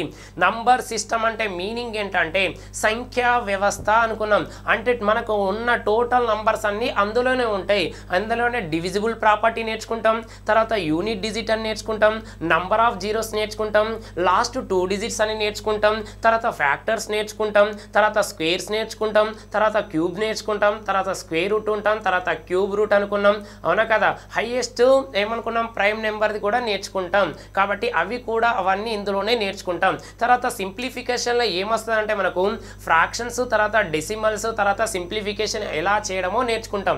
నెక్స్ట్ తర్వాత ఎల్సిఎం ఎస్ఎఫ్ అనేది ఆల్రెడీ ఉంది. మనకి ఇక్కడ హెచ్ ఏంటిది? డిజిటల్ సమ్ మెథడ్ ఉంది. ఒక్కసారి నాన్ మ్యాథ్స్ వాళ్ళు ఒక్కసారి అబ్జర్వ్ చేయండి. ఇవన్నీ పక్కన పెడితే ఈ ఎయిటీన్లో మనం అందరం టెన్త్ క్లాస్ వరకే చదువుకున్నాం. మరి టెన్త్ క్లాస్లో మనకు లేనిది ఏమైనా చాప్టర్ ఉందా అంటే ఒకటే రెండు కనబడతాయి మనకు. ఏంటి అంటే ఈ డిజిటల్ సమ్ మెథడ్ అనేది కనబడదు. డిజిటల్ సమ్ మెథడ్ అనేది కనబడదు. తర్వాత అక్కడక్కడ రేసెస్ కూడా అంటే ఒక క్వశ్చన్ ఉంటుంది కానీ అది కూడా పక్కన పెట్టినట్లయితే అంటే ఈ ఎయిటీన్ చాప్టర్లో అందరూ టెన్త్ వరకు నేర్చుకున్నది సిక్స్టీన్ చాప్టర్స్. కానీ మీరంతా ఏం చేసిరంటే అంటే నాకు మ్యాథ్స్ రాదన్న ఉద్దేశంతో ఇంటర్కి వచ్చినాక సిఈసి లేదా బైపీస్ అని తీసుకున్నారు. కానీ ఇవన్నీ మీరు ఎక్కడ నేర్చుకున్నారు? టెన్త్ క్లాస్ లోపే నేర్చుకున్నారు. మళ్ళీ ఇప్పుడు ఖచ్చితంగా నేర్చుకోవాల్సి వస్తుంది. ఓకేనా? కాబట్టి ఇక్కడ తప్పించుకోవడానికి ఛాన్స్ లేదు. కాకపోతే అవి చదువుకున్న దాన్ని మనం ఏం చేస్తామంటే రివిజన్ చేస్తాం. అంతకంటే ఏమైనా ఉందా? రివిజన్ కదా చేసేది. ఓకే? కాబట్టి చూడండి అక్కడ ఏం రాసినామంటే ఎక్స్ మోడల్ అని రాసుకున్నాం. ఇక్కడ ఏం చేస్తామంటే ఆ లాజిక్ ఏంటి ఆ షార్ట్ కట్ ఏంటిదో నేర్చుకుంటాం. కాబట్టి దీనిపైన ఫోకస్ పెట్టండి. ఇప్పటికైనా మీరు ఈ రోజు నుంచి స్టార్ట్ చేసిన ఒకవేళ గ్రూప్ ఫోరే రాయాలనుకున్నా మనకి ఆల్రెడీ మెన్షన్ చేసిండు ఏప్రిల్ నుంచి మే అని అన్నాడు. అంటే ఆల్మోస్ట్ ఆల్ ఎన్ని టైం ఎంత టైం ఉంది. ఫైవ్ మంత్స్ నుంచి సిక్స్ మంత్స్ వరకు మనకు టైం ఉంది. ఫైవ్ టు సిక్స్ మంత్స్ అనేది టైం ఉంది కాబట్టి మీరు ఈ రోజు నుంచి స్టార్ట్ చేయండి. ఈ అరిథమెటిక్ రీజనింగ్ అనేది మనకి ఎన్ని డేస్లో కంప్లీట్ అయిపోతుంది అనుకున్నాం? పర్ఫెక్షన్ రావాలంటే త్రీ మంత్స్లో కంప్లీట్ అయిపోతుంది. అవునా కదా? కాబట్టి ఇప్పటి నుంచే నేర్చుకోండి. ఒకవేళ ఎస్ఐ కానిస్టేబుల్ అవ్వాలన్నా కూడా వాళ్ళకి ఇక్కడ డిసెంబర్లో మనకి ఈవెంట్స్ అనేది స్టార్ట్ అవుతుంది ఎయిత్ రోజు. మనకు మేబీ అక్కడ కూడా February to March February to March అని ఉంటుంది. అంటే ఆల్మోస్ట్ ఆల్ త్రీ మంత్స్ అనేది టైం ఉంటుంది టూ టు త్రీ మంత్స్ అనేది టైం ఉంటుంది. మీరు జనరల్ స్టడీస్ పర్ఫెక్ట్గా నేర్చుకున్నట్లయితే మీరు ఈ అర్థమెటిక్ రీజనింగ్ పైన కొంచెం గ్రిప్ ఉన్నట్లయితే మీరు అడ్వాన్స్ లెవెల్ క్వశ్చన్స్ మీరు ప్రాక్టీస్ చేసినట్లయితే ఈజీగా మీరు గెట్ ఆన్ అయ్యే ఛాన్సెస్ ఉంది కాబట్టి ఇక్కడ ఫోకస్ చేయండి. మనం స్టార్ట్ చేసేది ఫస్ట్ ఎక్కడికి వెళ్ళి స్టార్ట్ చేస్తామంటే ఈ రేషియో ప్రపోర్షన్ నుంచి స్టార్ట్ చేస్తాం. మరి అన్ని బాగానే ఉన్నాయి కదా ఎయిటీన్ చాప్టర్లో మనం ఎక్కడన్నా ఫార్ములా యూజ్ చేస్తామని డౌట్ రావాలి. మరి ఫార్ములా యూజ్ చేస్తామంటే ఎక్కడ కూడా ఫార్ములా యూజ్ చేయం. జస్ట్ ఫార్ములా ఉన్నదని మాత్రమే నేర్చుకుంటాం. ఒక్కసారి అబ్జర్వ్ చేసినట్లయితే ఇక్కడ ఏముందంటే రేషియో ప్రపోర్షన్ అనుకున్నాం. ఈ రేషియో ప్రపోర్షన్లో మనకి ఎక్కడ ఫార్ములా యూజ్ చేస్తామంటే ఎక్కడ ఫార్ములా యూజ్ చేస్తామంటే చూడండి మీన్ ప్రపోర్షన్ అన్నాం. మీన్ ప్రపోర్షన్ అంటాం. మీన్ ప్రపోర్షన్ అంటే మీనింగ్ ఏంటంటే మిడిల్లో ఉన్నది. దాన్ని అనుపాత మధ్యమం లేదా మధ్యమ అనుపాతం అంటాం. అనుపాత మధ్యమం లేదా మధ్యమ అనుపాతం అంటాం. అంటే మీన్ ప్రపోర్షన్ ఈక్వల్ టు ఏమని రాయాలి మనం? స్క్వేర్ రూట్ ఆఫ్ బీసీ అని రాయాలి. ఏం రాస్తాం? స్క్వేర్ రూట్ ఆఫ్ బీసీ అని రాయాలి. నెక్స్ట్ తర్వాత థర్డ్ ప్రపోర్షన్ థర్డ్ ప్రపోర్షన్ అనుకున్నాం. C equal B square by A అని రాయాలి. ఏం రాస్తాం? థర్డ్ ప్రపోర్షన్ థర్డ్ అంటే మీనింగ్ ఏంటిది? తృతీయ. తృతీయ అనుపాతం అంటాం. అవునా కదా? నెక్స్ట్ తర్వాత ఫోర్త్ ప్రపోర్షన్ ఫోర్త్ ప్రపోర్షన్ ఒక్కసారి అబ్జర్వ్ చేసినట్లయితే D is equal D is equal ఏం రాయాలి మనం? బీసీ బై ఏ రాయాలి. అంటే ఎన్ని ఫార్ములాస్ యూజ్ చేసినాం దీంట్లో? త్రీ ఫార్ములాస్ అనేది యూజ్ చేసినాం. మీరు two thousand sixteen two thousand eighteen APSI తర్వాత తెలంగాణ ఎస్ఐ కానిస్టేబుల్ చూసినట్లయితే ఈ కాన్సెప్ట్లోకి వెళ్ళి ఒకసారి వన్ మార్క్స్ వచ్చింది తర్వాత టూ మార్క్స్ వచ్చింది. దేనికి వెళ్ళి వచ్చిందంటే ఈ రేషియో ప్రపోర్షన్లో అంటే రేషియో తర్వాత ప్రపోర్షన్ దానికి సంబంధించిన మీన్ ప్రపోర్షన్ కావచ్చు లేకుంటే థర్డ్ ప్రపోర్షన్ కావచ్చు లేదా ఫోర్త్ ప్రపోర్షన్ కావచ్చు. కాబట్టి ఒకసారి అబ్జర్వ్ చేయండి. నెక్స్ట్ ఇక్కడ పార్ట్నర్షిప్ అంటే పార్ట్నర్షిప్లో ఏమైనా ఫార్ములా యూజ్ చేస్తామంటే పార్ట్నర్షిప్లో ఒక ఫార్ములా యూజ్ చేస్తాం. ఆ ఫార్ములా ఏంటంటే మనం జనరల్గా బిజినెస్ అనేది ఎందుకు చేయాలి? ప్రాఫిట్ను ఆశించి చేయాలి. మరి ఈ ప్రాఫిట్ రావాలంటే మనం ఏం చేస్తామంటే ఇన్వెస్ట్మెంట్ చేయాలి. ఇన్వెస్ట్మెంట్ మరి పెట్టంగానే మనకు ప్రాఫిట్ వస్తుందా? కొంచెం టైం అనేది పడుతుంది. టైం అనేది పడుతుంది కాబట్టి ఆ ఇన్వెస్ట్మెంట్ను ఏం చేయాలి?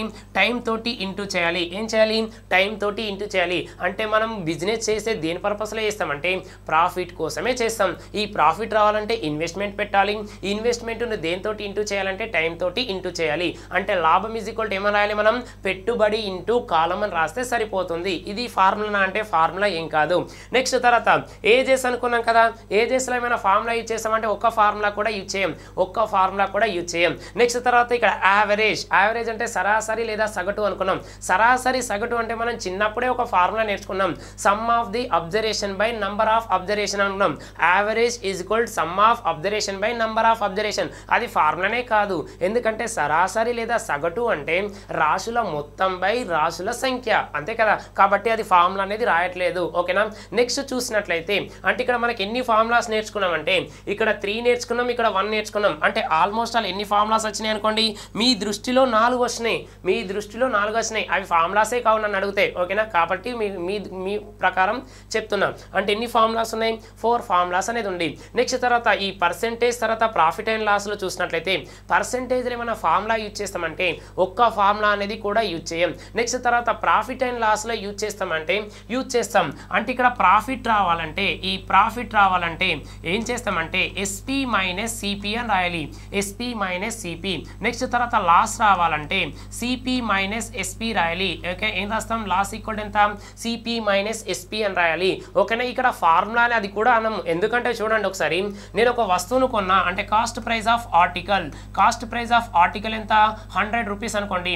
Selling price of article one ten rupees అని అనుకోండి వన్ టెన్ రూపీస్ అనుకుంటున్నా. ఒకవేళ మళ్ళీ cost price of article hundred rupees అనుకుంటున్నా తర్వాత సెల్లింగ్ ప్రైస్ ఆఫ్ ఆర్టికల్ ఎంత అనుకుంటున్నా? నైంటీ రూపీస్ అనుకుంటున్నా. ఈ ఎగ్జాంపుల్ బట్టే మనం రాయాలి. ఎలా రాస్తామంటే చూడండి ఇప్పుడు నేను వంద రూపాయలు కొన్నా హండ్రెడ్ రూపీస్ కొన్నా వన్ టెన్ రూపీస్ కమ్మినా. అంటే నాకు ఎన్ని రూపీస్ ప్రాఫిట్ వచ్చింది? టెన్ రూపీస్ ప్రాఫిట్ అనేది వచ్చింది. ఆ టెన్ రూపీస్ అని ప్రాఫిట్ ఎలా రాసిందంటే చూడండి ఈ కొ- మన అమ్మిన దాంట్లోకి వెళ్ళి కొన్న వేళ తీసినాం. అంటే ఎస్పీ మైనస్ సిపి ఎస్పీ అంటేనేమో సెల్లింగ్ ప్రైస్ తర్వాత సిపి అంటేనేమో కాస్ట్ ప్రైస్ అనుకున్నాం. అంటే అమ్మిన వెలకెళ్ళి కొన్న వెల తీస్తే వచ్చేదేంటిది? లాభం అన్నాం. లాభమే కదా? మరి నష్టం ఎలా వచ్చిందంటే చూడండి నేను ఇప్పుడు అదే ఆర్టికల్ను హండ్రెడ్ రూపీస్ కొన్నా నైంటీ రూపీస్ కమ్మినా. హండ్రెడ్ కొని నైంటీ రూపీస్ కమ్మినా అంటే మీనింగ్ ఏంటిదంటే నష్టం వచ్చింది. ఆ లాస్ ఎలా వచ్చిందంటే చూడండి నేను కొన్న దాంట్లోకి వెళ్ళి ఇది అమ్మిన తీసేసా. అంటే సిపి మైనస్ ఎస్పి అని చేసా. సిపి మైనస్ ఎస్పి అని చేసా కాబట్టి మనకి ఇలా రాసుకోవాలి. దీన్ని కూడా మనం ఫార్ములా అనకూడదు. ఎందుకంటే మనం ప్రతిదీ కూడా మన నిత్య జీవితంలో యూజ్ చేస్తున్నాం. ఓకేనా? నిత్య జీవితంలో యూజ్ చేస్తున్నాం కాబట్టి మనం దానికి ఎలా ఉండాలంటే ఒకదానికొకటి లింక్ బేస్ చేసి చదువుకున్నట్లయితే మనకి ఈజీగా వస్తుంది. మ్యాథ్స్ అంటే ఇక్కడ అర్థమెటిక్ రీజనింగ్ అంటే మ్యాథ్స్ కాదు. మ్యాథ్స్లో వన్ ఆఫ్ ది పార్ట్ అని గుర్తు పెట్టుకున్నప్పుడే మీరు సక్సెస్ అవుతారు. కానీ నేను నాన్ మ్యాథ్స్ నాన్ మ్యాథ్స్ అనేది ఒక బాండ్ అనేది పెట్టుకున్నారు కాబట్టి మీరు అందుకోసమే అది అదేంటి అర్థమెటిక్ రీజనింగ్కి భయపడతారు. కానీ ఎప్పుడు ఎప్పుడైతే మ్యాథ్స్లో ఈ అర్థమెటిక్ రీజనింగ్ అనేది ఒక పాట అని నేర్చుకుంటారో అప్పుడు మీరు ఈజీగా సక్సెస్ అవ్వడానికి ఎక్కువ స్కోప్ ఉంది. కాబట్టి ఒకసారి చూడండి. ప్రాఫిట్ రావాలంటే ఏం రాస్తున్నాం? ఎస్పీ మైనస్ సిపి అనుకున్నాం. మరి తర్వాత లాస్ రావాలంటే ఏమనుకున్నాం? సిపి మైనస్ ఎస్పీఏ అయిపోయింది కదా. Next simple interest simple interest అంటే బారు వడ్డీ అనుకున్నాం లేదా సాధారణ వడ్డీ అనుకున్నాం లేదా సాలిన వడ్డీ అనుకున్నాం లేకుంటే సామాన్య వడ్డీ అనుకున్నాం లేదా వడ్డీ అనుకున్నాం. ఇన్ని పేర్లతో పిలుస్తాం. దాన్నే సింపుల్ ఇంట్రెస్ట్ అంటాం. ఈ సింపుల్ ఇంట్రెస్ట్కు మరి ఫార్ములా ఏమన్నా ఉందా అంటే ఫార్ములా ఒకటి ఉంది. I is equal I is equal PRT by hundred I is equal ఏమని రాస్తాం మనం. పిఆర్టీ బై హండ్రెడ్ అని రాస్తాం. సార్ మేము చిన్నప్పుడు పీటీఆర్ అని నేర్చుకున్నాం కదా మరి మీరేమో పిఆర్టీ బై హండ్రెడ్ అని రాస్తారని మళ్ళీ డౌట్ వస్తుంది. నేను ఎందుకు రాసానంటే మన రీజనింగ్లో పి అంటేనేమో సిక్స్టీన్ ఆర్ అంటేనేమో ఎయిటీన్ టీ అంటే ఎంత? ట్వంటీ అంటే సిక్స్టీన్ ఎయిటీన్ ట్వంటీ ఒక ఆర్డర్ వైజ్గా వెళ్ళిపోయింది కాబట్టి పిఆర్టీ బై హండ్రెడ్ మీరు పీటీఆర్ బై హండ్రెడ్ రాసినా కూడా ఏం కాదు. ఎందుకంటే టూ ఇంటూ త్రీ అన్నా త్రీ ఇంటూ టూ అన్నా సిక్సే కదా. కాబట్టి మీరు ఎలా రాసినా ఏం కాదు. మేము నేర్చుకుంది పీటీఆర్ బై హండ్రెడ్ అంటే మీ ఇష్టం అది. ఓకేనా? పిఆర్టీ బై హండ్రెడ్ మరి ఇక్కడ పి అంటే ఏంటిది? ప్రిన్సిపాల్ అంటాం ఆర్ అంటే రేట్ ఆఫ్ ఇంట్రెస్ట్ అంటాం టీ అంటే ఏమనుకోవాలి? టైం అనేది అనుకోవాలి. ఓకేనా? ఐ అంటే ఏంటిది? ఇంట్రెస్ట్ ఓకే ప్రిన్సిపాల్ అంటే తెలుగులో ఏమనుకుంటాం అంటే అసలు. తర్వాత ఆర్ అంటే ఏమనుకోవాలంటే వడ్డీ రేటు లేదా వడ్డీ శాతం. వడ్డీ రేటు లేదా వడ్డీ శాతం అనుకున్నాం. టీ అంటే టైం అంటే కాలమే కదా. కాబట్టి ఈజీగా అయిపోయింది. ఏంటిది ఇది? Simple interest formula simple interest అన్నా ఐ అన్నా కూడా బోత్ ఆర్ ఈక్వల్ అవునా కదా? నెక్స్ట్ తర్వాత ఇక్కడ కాంపౌండ్ ఇంట్రెస్ట్ చూసినట్లయితే చూసినట్లయితే కాంపౌండ్ ఇంట్రెస్ట్కి ఏమైనా ఫార్ములా ఉందా అంటే కాంపౌండ్ ఇంట్రెస్ట్కు ఫార్ములా ఉంది. ఏమని రాస్తామంటే A is equal A is equal one plus R by hundred R by hundred whole to the power of N whole to the power of N అన్నాం. ఓకేనా correct ఒకసారి observe చేయండి. మరి ఇక్కడ A is equal to P into one plus R by hundred whole to the power of N అంటే meaning ఏంటంటే ఇక్కడ టే అంటే ఏంటంటే టోటల్ అమౌంట్ టోటల్ అమౌంట్ మరి ఏం చేస్తాం మనం? అమౌంట్ రావాలంటే sum of principal plus interest రాస్తాం. Sum of principal plus interest అని రాస్తాం అంటే మనకి ఏం కావాలి? మొత్తం రావాలంటే ఏం చేయాలి? అసలు తర్వాత వడ్డీ. ఈ రెండింటిని కలిపితేనే కదా వచ్చింది. ఈ రెండింటిని కలిపితే వచ్చేది ఏంటిది? మొత్తం అనుకున్నాం. మొత్తం అనుకున్నాం. తర్వాత ఆర్ అంటే ఏంటిది? రేట్ ఆఫ్ ఇంట్రెస్ట్ అని తెలుసు. మరి ఇక్కడ ఎన్ అంటే ఏంటిది అని డౌట్ రావాలి. ఎన్ అంటే ఏంటిదంటే number of years number of years అనుకున్నాం. అంటే ఇక్కడ టైం అనుకున్నాం కదా. అక్కడ నంబర్ ఆఫ్ ఇయర్స్ కదా అంటే అక్కడ ఎన్నును మనం నంబర్ ఆఫ్ ఇయర్స్ అనుకోవాలి. ఇక్కడ టీ అంటేనేమో టైం అనుకోవాలి. అంటే కాలం అని మాత్రమే అనుకోవాలి. ఓకేనా? ఇక్కడ ఎన్ని ఫార్ములాస్ వచ్చినాయంటే చూడండి. మీ దృష్టిలో ఇక్కడ రెండు అనుకోండి ఇక్కడ టూ అనుకోండి ఇక్కడ కూడా ఎన్ని వచ్చినాయి? ఫార్ములాస్ అనేది ఫోర్ వచ్చినాయి. ఫార్ములాస్ అనేది ఎంత వచ్చింది? ఫోర్ అనేది వచ్చింది. ఓకేనా? నెక్స్ట్ తర్వాత ఈ నంబర్ సిస్టమ్ కానీ ఇక్కడ ఏమైనా ఫార్ములా అనేది యూజ్ చేస్తామంటే ఒక్క ఫార్ములా కానీ యూజ్ చేయం. ఒక్క ఫార్ములా అనేది కూడా మనం యూజ్ చేయం కాబట్టి ఇది పక్కన పెట్టండి. ఓకే? ఇది పక్కన పెట్టినట్లయితే మనకు ఫోర్త్ యూనిట్ ఈ ఫోర్త్ యూనిట్లో ఫార్ములా ఏమైనా నేర్చుకుంటామంటే A can do work in X days next weekend work in Y days అనుకున్నాం. Then A and B together completed in how many days అని క్వశ్చన్ అడుగుతాడు. అంటే ఏనేమో ఎక్స్ రోజులు వేస్తాడు బి ఏమో వై రోజులు వేస్తాడు మరి ఇద్దరు కలిస్తే ఈ ఇద్దరు కలిస్తే ఎన్ని రోజులే చేస్తారు అంటే జనరల్గా ఫార్ములా రాస్తున్నా ఏమని రాస్తామంటే X Y by X Y by ఏమని రాయాలి? ఎక్స్ ప్లస్ వై అని రాయాలి. ఏమని రాస్తాం మనం? X Y by X plus Y అని రాసినట్లయితే మనకి ఈజీగా అయిపోతుంది. ఏంటిది అది? ఫోర్త్ యూనిట్ ఫోర్త్ యూనిట్ ఒకటే ఫార్ములా ఉంటుంది. అదేంటిది? X Y by X plus Y మరి ఫార్ములా యూజ్ చేస్తామంటే ఫార్ములా యూజ్ చేయం నేను జనరల్గా చెప్పిన. జస్ట్ ఫార్ములా ఉంటాయని మాత్రమే గుర్తుపెట్టుకోండి. మరి ఫార్ములా తోటి చేస్తామంటే ఒక్క ఫార్ములా అనేది కూడా యూజ్ చేయం. ఓకేనా? ఇక్కడ పక్కన పెట్టినట్లయితే నెక్స్ట్ ఫిఫ్త్ యూనిట్ ఫిఫ్త్ యూనిట్లో మనకి ఏమైనా ఫార్ములా యూజ్ అవుతుందంటే ఒక ఫార్ములా అనేది యూజ్ అవుతుంది. మనం జనరల్గా మూవీకి వెళ్తాం. మూవీకి వెళ్ళినప్పుడు ఒక సౌండ్ వస్తే దాన్ని ఏమంటాం అంటే. డిటిఎస్ అంటాం డిటిఎస్ఏ కదా అంటాం. కాబట్టి ఈ డిటిఎస్ అంటే మీనింగ్ ఏంటంటే ఓకేనా? Distance equal time into speed అంటాం. డిటిఎస్. ఓకేనా గుర్తుపెట్టుకోవడానికి ట్రై చేయండి. డిటిఎస్ అంటే డి అంటేనేమో డిస్టెన్స్ తర్వాత టీ అంటేనేమో టైము తర్వాత ఎస్ అంటే ఏంటిది? స్పీడ్ అని అనుకుంటాం. ఓకేనా ఆ డిటిఎస్ గుర్తు పెట్టుకుంటే సరిపోతుంది. లేదు నేను ఇంకా కొంచెం గుర్తు పెట్టుకుంటా అంటే చూడండి. ఇప్పుడు ఏంటిది? దూరం అంటాం. దూరం డిస్టెన్స్ అంటే దూరమే కదా. నెక్స్ట్ తర్వాత టైం అంటే ఏంటిది? కాలం. తర్వాత స్పీడ్ అంటే ఏంటిది? వేగం. అంటే ఏంటిది? దూకవే అంటాం. అంటే ఇప్పుడు మనకి ఈవెంట్ జరుగుతుంది కదా. ఈవెంట్ జరిగినప్పుడు మనం ఏం చేస్తాం? లాంగ్ జంప్ హై జంప్ చేసినప్పుడు ఏంటిది? దూకవే దూకవే అంటాం కదా. అలా గుర్తు పెట్టుకోండి. మీకు ఎలా నచ్చితే అలా గుర్తు పెట్టుకోండి. కానీ డిటిఎస్ అనేది ఈజీగా గుర్తుంటుంది. అంటే డిస్టెన్స్ ఈక్వల్ ఏమని రాయాలి మనం?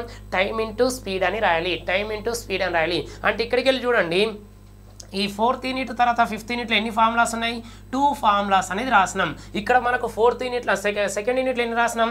ఫోర్ అని రాసుకున్నాం. ఇక్కడ ఫోర్ రాసినాం ఇక్కడ ఫోర్ రాసినాం. అంటే ఆల్మోస్ట్ ఆల్ ఒకసారి చూడండి. Four plus four plus two equal ఎన్ని ఫార్ములాస్ ఉన్నాయి? టెన్ ఫార్ములాస్ అనేది ఉన్నాయి. ఎన్ని ఫార్ములాస్ యూజ్ చేసినాం మనం? Ten formulas. అంటే మరి అర్థమెటిక్లో టెన్ అంటే మీరు అన్నీ ఒక్కసారి చూడండి. ఇవన్నీ రాస్తే టూ లైన్స్ కూడా కాదు. ఈ టూ లైన్స్ కూడా మనం ఏం చేసినామంటే మ్యా నాన్ మ్యాథ్స్ వాళ్ళు మ్యాథ్స్ అర్థమెటిక్ అనేది మ్యాథ్స్ కాబట్టి కొంచెం భయం అయింది కాబట్టి ఇప్పటికైనా మేల్కొనండి నాన్ మ్యాథ్స్ విద్యార్థులారా. ఇది మీకోసమే ప్రత్యేకంగా చెప్తున్నాం. ఎందుకంటే మ్యాథ్స్ వాళ్ళ కంటే నాన్ మ్యాథ్స్ వాళ్ళకి ఎక్కువ జాబ్లు వస్తాయి. ఎందుకంటే మ్యాథ్స్ అతనులకు కొంచెం ఏముంటాయంటే మ్యాథ్స్ వచ్చిన పొగరుతోటి ఎక్కువ ఏం చేస్తారంటే ప్రాక్టీస్ అనేది చేయరు. కానీ నాన్ మ్యాథ్స్ వాళ్ళు ఏం చేస్తారంటే మ్యాథ్స్ రాదనే ఉద్దేశంతో నంబర్ ఆఫ్ టైమ్స్ ప్రాక్టీస్ చేస్తారు. ఈ ప్రాక్టీస్ చేయడం వల్ల ఎవరైతే ఎక్కువ ప్రాక్టీస్ చేస్తారో వాళ్ళకే మనకు మా- ఏంటిది మ్యాక్సిమం మార్క్స్ కొట్టడానికి ఛాన్సెస్ ఎక్కువ ఉంది. ఇప్పుడు నేనే ఉన్నా నేను ప్రాక్టీస్ బాగా చేసిన నాకు ఫాస్ట్ వస్తుంది. ఒక వన్ మంత్ టూ మంత్స్ నేను బుక్ను పక్కన పెట్టిన అనుకోండి కొంచెం క్యాల్కులేషన్ అనేది తగ్గిపోతుంది. అంటే ఎవరైతే ఎక్కువ డైలీ ప్రాక్టీస్ చేస్తారో వాళ్ళకే మనకు మ్యాక్సిమం మార్క్స్ కొట్టడానికి ఛాన్స్ ఎక్కువ ఉంది. కాబట్టి ఒక్కసారి అది చూడండి. ఇప్పుడు మనకు ఆల్రెడీ ఐడియా వచ్చింది అరిథిమెటిక్ అంటే ఏంటిది?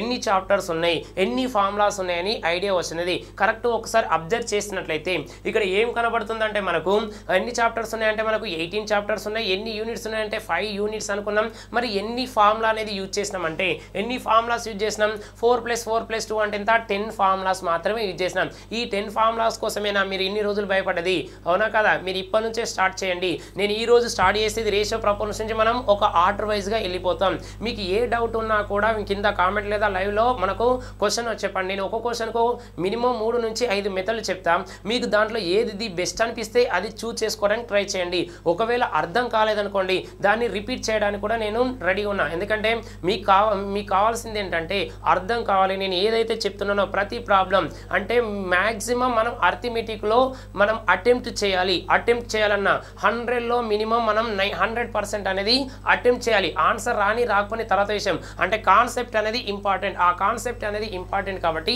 అది నేర్చుకొని పక్కన పెట్టడానికి ట్రై చేయండి. ఓకేనా? ఇది ఏంటిది? ఓవర్ వ్యూ ఆఫ్ అర్థమెటిక్ అనుకున్నాం. ఓవర్ వ్యూ ఆఫ్ అర్థమెటిక్ కాబట్టి ఇది ఒకసారి చూడండి. నెక్స్ట్ తర్వాత ఇప్పుడు మనం ఎక్కడికి వెళ్ళి స్టార్ట్ చేస్తామంటే ఈ రేషియో ప్రపోర్షన్ నుంచి స్టార్ట్ చేయాలి. ఓకేనా? ఈ రేషియో ప్రపోర్షన్ అనేది ఎలా స్టార్ట్ చేస్తామంటే ఫస్ట్ ఆ హెడ్డింగ్ పెట్టుకుంటాం. తర్వాత క్వశ్చన్స్ అనేది ఎలా నేర్చుకుంటాం? తర్వాత ఇక్కడ కొన్ని చూడండి. మనకు క్యాల్కులేషన్ పార్ట్ ఒకసారి చూస్తున్నా. క్యాల్కులేషన్ ఒక పార్ట్స్ చూసినట్లయితే మనకి ఏముంటుందంటే మనకు ఏమనుకున్నామంటే నాన్ మ్యాథ్స్ వాళ్ళు మీ క్యాల్కులేషన్ ప్రాబ్లం రాకనే కదా మనం భయపడ్డది. కొన్ని క్యాల్కులేషన్ ట్రిక్స్ అనేది ఉంటాయి. ఆ ట్రిక్స్ మనం నేర్చుకున్నట్లయితే ఈజీగా గెట్ ఆన్ అయ్యే ఛాన్సెస్ ఉంది. నేను ఇప్పుడు జనరల్గా కొన్ని మాత్రమే ఇప్పుడు చెప్తా. ఎందుకంటే అన్ని చెప్తే కూడా మరి మీరు మర్చిపోతారు కాబట్టి కొన్ని క్యాల్కులేషన్ ఆల్రెడీ కొంతమందికి మీకు తెలిసే ఉంటుంది. కొంతమంది బాగా ప్రాక్టీస్ చేసిన వాళ్ళకు ఎవరైతే నాన్ మ్యాథ్స్ ఉన్నారో అంటే లింకప్ ఒకదానికి ఒకటి లింకప్ చేసి ఎలా ప్రిపేర్ అవ్వాలి? అంటే క్యాల్కులేషన్ చూసినట్లయితే ఎలా వస్తాయి అంటే ఒకసారి అబ్జర్వ్ చేసినట్లయితే మనకి ఇక్కడ ఏముందంటే నేను ఒక నెంబర్ ఫైవ్ తీసుకున్నాను అనుకోండి జనరల్గా ఈ ఫైవ్ని నేను ఎన్ని రకాలుగా యూజ్ చేసుకుంటున్నానంటే ఒకసారి అబ్జర్వ్ చేయండి. ఇక్కడ మనకున్నది ఎంత ఫైవ్ అనేది తీసుకుంటున్నాం. ఈ ఫైవ్ని రాసినట్లయితే నేను జనరల్గా రాసినట్లయితే ఏముంటుందంటే మనకు ఫైవ్ తోటి తీసుకుంటున్నాం. అంటే మల్టిప్లికేషన్ విత్ ఫైవ్ అనుకుంటున్నాం. మల్టిప్లికేషన్ మల్టిప్లికేషన్ విత్ ఫైవ్ అనుకుంటున్నాం. Multiplication with five comma twenty five comma? One twenty five comma? Next six twenty five అనుకుంటున్నాం. ఓకేనా? అంటే ఐదు కామా ఇరవై ఐదు మరి నూట ఇరవై ఐదు.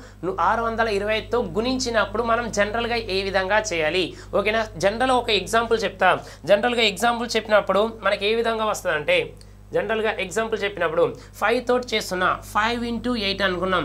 ఓకేనా? తర్వాత ఇదే క్వశ్చన్ నేను ఏం చేస్తున్నా అంటే ఫైవ్ ఇంటూ సిక్స్టీన్ అన్నాను అనుకోండి తర్వాత twenty five into next one twenty five into eight అన్నాను అనుకోండి నెక్స్ట్ తర్వాత six twenty five into six twenty five into okay four sixty four అన్నాను అనుకోండి ఆన్సర్ రావాలి. ఏం చేస్తామంటే జనరల్గా మనకు ఫైవ్ టేబుల్ అనేది ఈజీగా వస్తుంది. ఎందుకంటే ఫైవ్ ఇంటూ ఎయిట్ అంటే ఫార్టీ అని చెప్పొచ్చు. మరి ఇక్కడ ట్వంటీ ఫైవ్ ఇంటూ సిక్స్టీన్ చెప్పాలి కదా next one twenty five into eight అని చెప్పాలి కదా next six twenty five into sixty four అనేది చెప్పాలి. అంటే ఎలా చేస్తామంటే కూడా ఒకసారి అబ్జర్వ్ చేయండి. ఇక్కడ నాకు ఫైవ్ అనేది టేబుల్ ఈజీగా వచ్చు. అంటే నేను ఏం చేస్తున్నానంటే ఫైవ్ని నేను ఎలా రాసుకున్నా అంటే ఫైవ్ పవర్ వన్ అని రాసుకున్నా. అంటే ఫైవ్ పవర్ వన్ అంటే ఎంత? ఫైవ్ అనే రాయొచ్చు. అవునా కాదా? నెక్స్ట్ తర్వాత ఇక్కడ ఏం రాస్తున్నా అంటే ట్వంటీ ఫైవ్ అనుకున్నాం. ఈ ట్వంటీ ఫైవ్ అంటే ఏ విధంగా రాస్తామంటే ఫైవ్ స్క్వేర్ ఫైవ్ స్క్వేర్ అంటే మీనింగ్ ఏంటిది? ఫైవ్ ఇంటూ ఫైవ్ రాయాలి. నెక్స్ట్ వన్ ట్వంటీ ఫైవ్ అంటే మీనింగ్ ఏంటిది? ఫైవ్ క్యూబ్ అని రాయాలి. అంటే ఎంత? Five into five into five అని రాయాలి. నెక్స్ట్ ఇక్కడ సిక్స్ ట్వంటీ ఫైవ్ చూసుకున్నాం అనుకోండి. సిక్స్ ట్వంటీ ఫైవ్ అంటే ఫైవ్ పవర్ ఫోర్ అని రాయాలి. అంటే ఇక్కడ ఏం రాస్తాం మనం?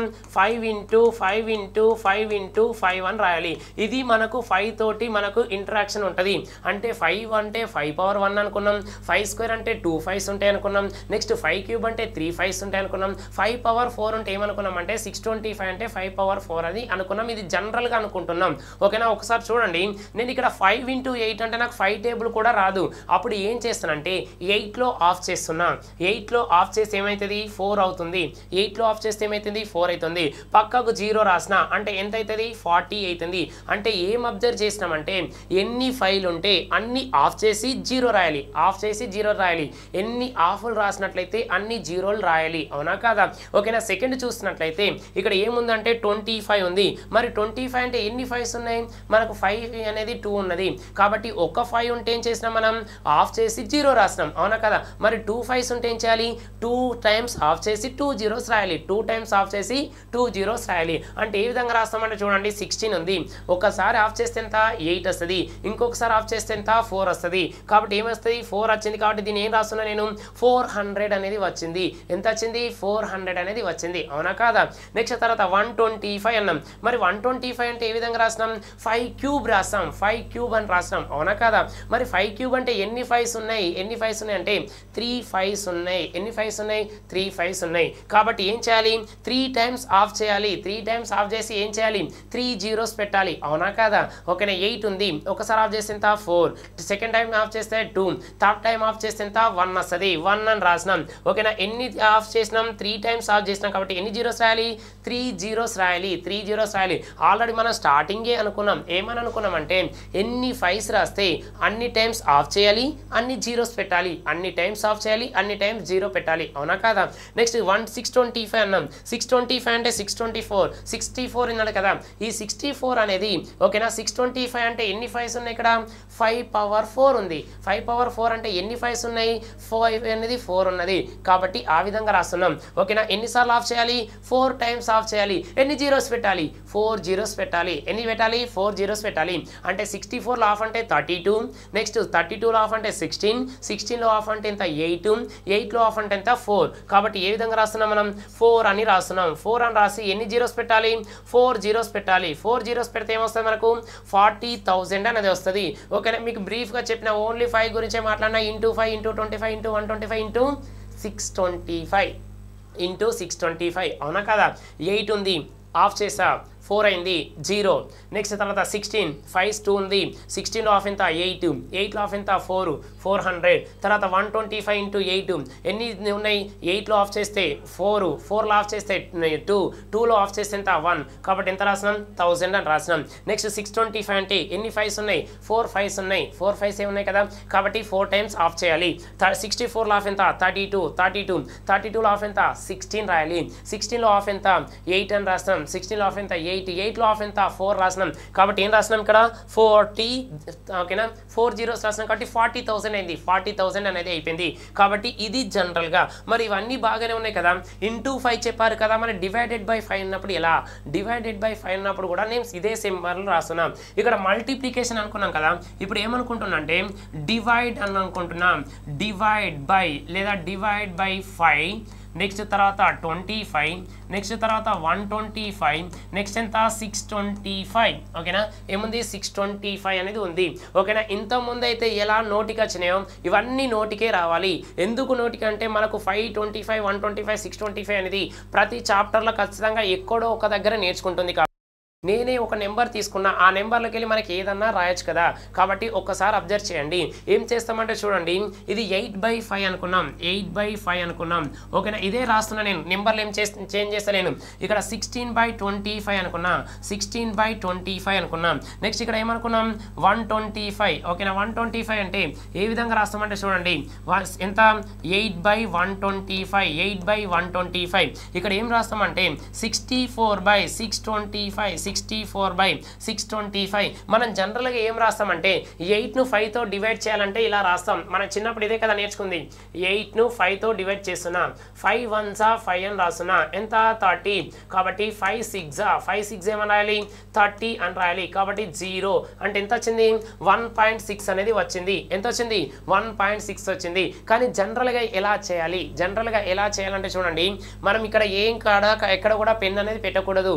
డైరెక్ట్ ఎలా అటాక్ చేయాలి. ఎలా అటాక్ చేయాలి అనేది మనకి ఇంపార్టెంట్ ఇక్కడ డివైడెడ్ బై ఫైవ్ ఉన్నప్పుడు పైన న్యూమనేటర్ని ఏం చేయాలి? డబుల్ చేయాలి డబుల్ చేయాలి. డబుల్ చేసి వన్ డిజిట్ తర్వాత పాయింట్ పెట్టాలి. మరి ఇక్కడ ఎయిట్కు డబుల్ ఎంత? సిక్స్టీన్ మరి వన్ డిజిట్ తర్వాత పాయింట్ పెడితే ఏమైంది? One point six one point six అనేది వచ్చింది. నెక్స్ట్ సిక్స్టీన్ ఉంది కదా. అంటే ఇక్కడ ఏం గుర్తుపెట్టుకోవాలంటే ఒక ఫైవ్ ఉన్నప్పుడు ఒకసారి డబుల్ చేసి వన్ డిజిట్ తర్వాత పాయింట్ పెట్టాలి. మీరు ఎన్ని డబుల్ టైం చేస్తే అన్ని డిజిట్స్ తర్వాత పాయింట్ పెట్టాలి. ఎన్నిసార్లు డబుల్ చేస్తే అన్ని డిజిట్స్ తర్వాత పాయింట్ పెట్టాలి. చేయాలి. ఇక్కడికి వెళ్ళి అబ్జర్వ్ చేసినట్లయితే మనకి ఏమొస్తుందంటే సిక్స్టీన్ ఉంది సిక్స్టీన్కి డబుల్ ఎంత? థర్టీ టూ థర్టీ టూ కదా? ట్వంటీ ఫైవ్ అంటే ఎన్ని ఫైవ్స్ ఉన్నాయి? టూ ఫైవ్స్ ఉన్నాయి.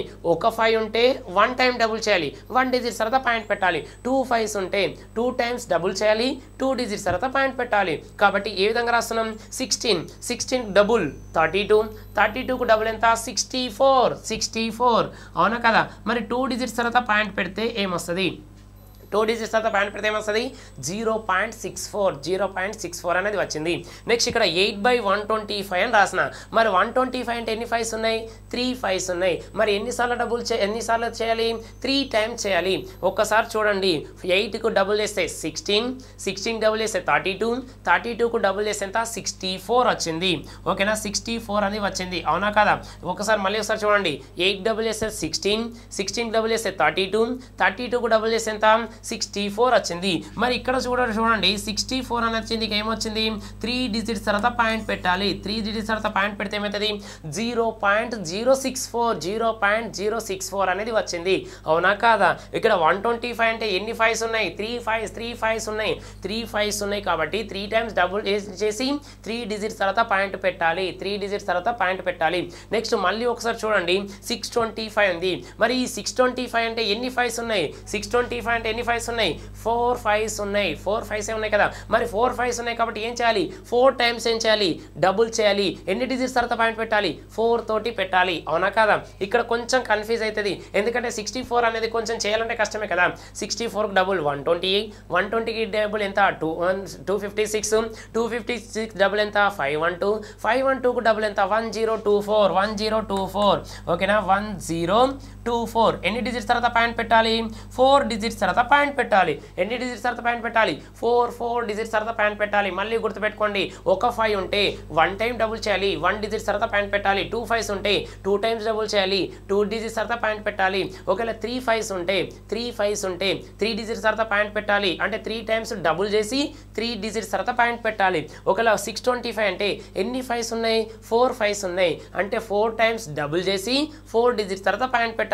ఇక్కడ సిక్స్టీ ఫోర్ అన్నది కొంచెం కష్టం అనిపించినట్టుంది. అవునా కదా? సిక్స్టీ ఫోర్ డబుల్ ఎంత? One twenty eight one twenty double two fifty six two fifty six double ఎంత five one two five one టూకు double ఎంత one zero two four one zero two ఫోరే కదా? మరి zero point one zero two four అని రాయొచ్చు. అవునా కదా? Okay ఇది దేని గురించి మాట్లాడినాం?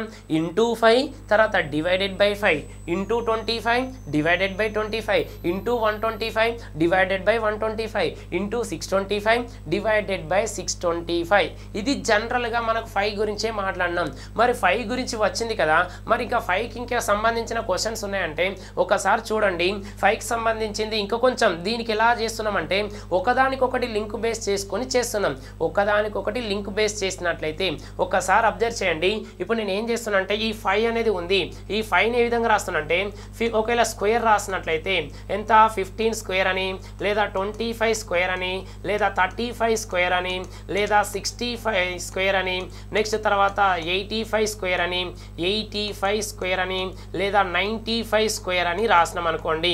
ఓకేనా? ఇది ఆన్సర్ రావాలి. లేదు నేను దీన్నే ఏం రాస్తున్నామంటే రివర్స్ చేస్తే కూడా ఆన్సర్ రావాలి. ఇది చాలా మందికి తెలుసు fifteen twenty five thirty five whole square అని అందరికీ తెలిసిందే. కానీ దీన్ని రివర్స్ చేసినా కూడా మనకు ఆన్సర్ రావాలి. ఈ ఫిఫ్టీన్ మనం రివర్స్ చేసినట్లయితే ఎంత? Fifty one. Fifty one whole square. Next reverse చేసినట్లయితే fifty two whole square. Next తర్వాత రివర్స్ చేసినట్లయితే ఫిఫ్టీ త్రీ హోల్ స్క్వేర్ ఏమొస్తుంది? Fifty three whole square sixty five అంటే మనం జనరల్గా ఏ విధంగా రాస్తాం మనం? Fifty six whole square fifty six whole square తర్వాత ఇక్కడ మనకి ఏమొచ్చింది? ఫిఫ్టీ ఎయిట్ హోల్ స్క్వేర్ అని వచ్చింది. ఏమొచ్చింది? ఫిఫ్టీ ఎయిట్ హోల్ స్క్వేర్ ఇక్కడ వచ్చిందంటే ఏం రాస్తాం మనం? Fifty nine whole square fifty nine whole square వచ్చింది. ఇంతకంటే మనం ఏమైనా చేస్తామంటే ఏం లేదు. ఇక్కడ ఫైవ్ మనం టార్గెట్ పెట్టుకున్నాం. అక్కడ ఏం జరిగిందంటే ఇంటూ చేసినాం డివైడెడ్ బై చేసిన ఒకవేళ ఫైవ్ అనేది స్క్వేర్లో ఉంటే యూనిట్ డిజిట్లో ఫైవ్ ఉంటే ఏం చేస్తాం? టెన్ డిజిట్లో ఫైవ్ ఉంటే ఏ విధంగా చేస్తాం? దీని గురించే కదా మనం మాట్లాడేది. కాబట్టి ఇది పక్కన పెట్టినట్లయితే ఇప్పుడు ఏ విధంగా రాస్తామంటే ఫిఫ్టీన్ స్క్వేర్ అంటే ట్వంటీ ఫైవ్ స్క్వేర్ అంటే నెక్స్ట్ సిక్స్టీ ఫైవ్ స్క్వేర్ అంటే ఏ విధంగా రాయాలంటే ఒక్కసారి అబ్జర్వ్ చేయండి. ఫైవ్ స్క్వేర్ యూనిట్ డిజిట్లో ఫైవ్ ఉన్నప్పుడు యూనిట్ డిజిట్లో ఇక్కడ ఫైవ్ ఉంది ఇక్కడ ఫైవ్ ఉంది కాబట్టి ఫైవ్ స్క్వేర్ ఫైవ్ స్క్వేర్ అంటే ఎంత? ట్వంటీ ఫైవ్ ఫైవ్ స్క్వేర్ అంటే ఎంత? Twenty five. ఓకే ఇక్కడ వన్ ఉంది కదా. ఈ వన్ తర్వాత వచ్చే నెక్స్ట్ నెంబర్ తోటి ఇంటూ చేయాలి. వన్ తర్వాత వచ్చే నెక్స్ట్ నెంబర్ ఎంత ఉంటుంది? టూ ఏ కదా. కాబట్టి one into two one into two అంటే ఏం చేయాలి మనం? టూ ట్వంటీ ఫైవ్ అని చేయాలి. ఏమని చేస్తాం? టూ ట్వంటీ ఫైవ్ అని చేయాలి. ఓకేనా నెక్స్ట్ చూసినట్లయితే ఫైవ్ స్క్వేర్ అంటే ఎంత? ట్వంటీ ఫైవ్ అనేది కామన్. ఓకేనా ట్వంటీ ఫైవ్ అనేది కామన్ మనకు. ఎక్కడైనా కూడా twenty five twenty five. Five square అంటే ట్వంటీ ఫైవ్ కదా. ఓకేనా అబ్జర్వ్ చేయండి. ఇక్కడ ఏమి ఇచ్చినామంటే చూడండి. టూ అనేది ఇచ్చినాం. అంటే టూ తర్వాత వచ్చే నెక్స్ట్ నెంబర్ ఎంత? టూ తర్వాత వచ్చే నెక్స్ట్ నెంబర్ ఎంత? త్రీయే కదా? అంటే two into three two into three ఎంత? టూ త్రీ జా సిక్స్ ఎంత వచ్చింది? సిక్స్ ట్వంటీ ఫైవ్ అనేది వచ్చింది. సిక్స్ ట్వంటీ ఫైవ్ నెక్స్ట్ ఇక్కడ చూసినట్లయితే త్రీ ఉంది. త్రీ తర్వాత వచ్చే నెక్స్ట్ నెంబర్ ఎంత? ఫోర్ అంటే త్రీ ఇంటూ ఫోర్ ఎంత? ట్వెల్వ్ కదా. కాబట్టి ఏమని చెప్పాలి మనం? థర్టీ ఫైవ్ స్క్వేర్ అంటే ఎంత? Twelve twenty five twelve twenty five అని చెప్పాలి. నెక్స్ట్ ఇక్కడ సిక్స్ ఉంది. సిక్స్ తర్వాత వచ్చే నెక్స్ట్ నెంబర్ ఏముంది? Six into seven six into seven అంటే ఎంత? ఫార్టీ టూ కాబట్టి ఏం చేయాలి? సిక్స్ సెవెన్ జా ఫార్టీ టూ అంటే ఏం చెప్పాలి? ఫార్టీ టూ ట్వంటీ ఫైవ్ ఏదది? Sixty five whole square sixty five whole square చెప్పాలి. నెక్స్ట్ ఎయిటీ ఫైవ్ అన్నాం. ఇక్కడ ఎయిట్ అన్నది కదా. ఎయిట్ తర్వాత వచ్చే నెక్స్ట్ నెంబర్ ఎంత? నైన్ అంటే ఎయిట్ ఇంటూ నైన్ ఎంత? ఎయిట్ నైన్ జా సెవెంటీ టూ ఓకేనా ఎంత అని చెప్పాలి మనం? Seventy two twenty five seventy two twenty five చెప్పాలి. ఇక్కడ నైన్ ఉంది కదా? నైన్ తర్వాత వచ్చే నెక్స్ట్ నెంబర్ కావాలి. నైన్ తర్వాత వచ్చే నెక్స్ట్ నెంబర్ ఎంత? టెన్ ఉన్నది. కాబట్టి nine into ten nine into ten ఎంత? నైంటీ అని చెప్పాలి. ఎంత? నైంటీ ట్వంటీ ఫైవ్ ఇవన్నీ మనకు తెలిసినాయే. ఇవన్నీ మనకి ఈజీగా తెలిసినాయి. ఇవన్నీ మనం ఎందుకు చెప్తున్నాం అంటే మనకు ప్రతి చాప్టర్లో ఇలాంటివి వస్తాయి. ట్వంటీ ఫైవ్ స్క్వేర్ ఎంత? థర్టీ ఫైవ్ స్క్వేర్ ఎంత? ఫార్టీ ఫైవ్ స్క్వేర్ ఎంత? ఫిఫ్టీ ఫైవ్ స్క్వేర్ ఎంత? నైంటీ ఫైవ్ హోల్ స్క్వేర్ ఎంత?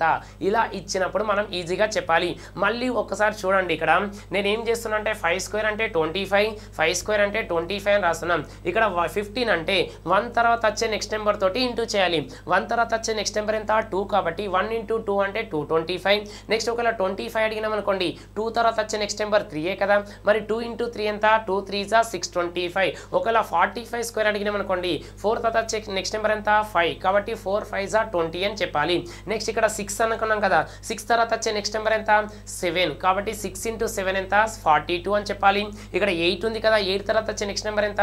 ఎయిట్ నైన్ జా సెవెంటీ టూ అని చెప్పాలి. అంటే seven two twenty five seventy two twenty five ninety five అన్నాం కదా. నైన్ తర్వాత వచ్చే నెక్స్ట్ నెంబర్ ఎంత? నైన్ టెన్ కదా. నైన్ ఇంటూ టెన్ అంటే నైంటీ నైంటీ ట్వంటీ ఫైవ్ ఇవన్నీ మనకు నోటికి రావాలి. మీరు నేను స్టార్టింగే చెప్పిన నేను మీకు ఏమని చెప్తున్నా అంటే బేసిక్ నుంచి చెప్తున్నా. ఎవరైతే బేసిక్ లేదో ఇప్పుడే నేర్చుకుంటారో వాళ్ళ కోసం మాత్రమే స్టార్ట్ చేసినాం. అక్కడికి వెళ్ళి స్టార్ట్ చేసి ఎలా అడ్వాన్స్ లెవెల్లో వెళ్ళాలనేది మాత్రమే మనం డిస్కస్ చేస్తాం. అవునా కదా? కాబట్టి ఇక్కడ మనకి ఇచ్చింది ఏంటిది? మనం ఫైనే ఒక దాన్ని టార్గెట్ పెట్టుకున్నాం. ఈ ఫైన్ ఎన్ని రకాలుగా యూజ్ చేయాలి అన్నదే మన కాన్సెప్ట్ కాబట్టి ఒకసారి అబ్జర్వ్ చేయండి. ఇదేంటిది? యూనిట్ డిజిట్లో ఫైవ్ ఉన్నప్పుడు యూనిట్ డిజిట్లో ఫైవ్ ఉన్నప్పుడు రావాలి. ఓకే నీకు డైరెక్ట్ నేను చెప్తా చూడండి ఒకసారి. Twenty five square six twenty five అని చెప్పాలి. Thirty five square three into four twelve అని చెప్పాలి. ఓకేనా? Forty five square four five జా ట్వంటీ ట్వంటీ ఫైవ్ అని చెప్పాలి. సిక్స్టీ ఫైవ్ స్క్వేర్ అంటే సిక్స్ సెవెన్ జా ఫార్టీ టూ ట్వంటీ ఫైవ్ అని చెప్పాలి. సెవెంటీ ఫైవ్ అంటే సెవెన్ ఎయిట్ జా ఫిఫ్టీ సిక్స్ ట్వంటీ ఫైవ్ అని చెప్పాలి. నైంటీ ఫైవ్ అంటే నైన్ తర్వాత వచ్చే next number ten nine into ten ninety twenty five అని చెప్పాలి. ఒకవేళ ఫిఫ్టీన్ అడిగితే ఫిఫ్టీన్ అడిగితే ఏం చెప్పాలి? టూ ట్వంటీ ఫైవ్ అని చెప్పాలి. టూ ట్వంటీ ఫైవ్ అని చెప్పాలి. ఇది రాసుకున్నట్లయితే మనకు ఏమవుతుంది ఫైవ్ యూనిట్ డిజిట్లో ఏమున్నప్పుడు స్క్వేర్ ఉన్నప్పుడు స్క్వేర్ ఉన్నప్పుడు అయిపోయిందా కదా? నెక్స్ట్ నేను ఏం చేస్తున్నా అంటే దీన్ని రివర్స్ రాస్తున్నా. ఏం చేస్తున్నా? రివర్స్ చేసినట్లయితే రివర్స్ చేసినట్లయితే ఏ విధంగా వస్తుంది? ఓకేనా? ఇంతకుముందు ఫైవ్ స్క్వేర్ అంటే ట్వంటీ ఫైవ్ కదా? ఇక్కడికి వెళ్ళి చేస్తున్నా చూడండి. Nine square. నైన్ స్క్వేర్ అంటే ఏం రాయాలి మనం? ఎయిటీ వన్ అని రాయాలి. ఏమని రాయాలి? ఎయిటీ వన్ అని రాయాలి. ఇక్కడ ఏముంది? ఫైవ్ స్క్వేర్ అంటే ట్వంటీ ఫైవ్ కదా? ట్వంటీ ఫైవ్కి నైన్ కలపండి. ట్వంటీ ఫైవ్కి నైన్ కలిపితే ఎంత? Thirty four eighty one. ఏమని చెప్పచ్చు మనం?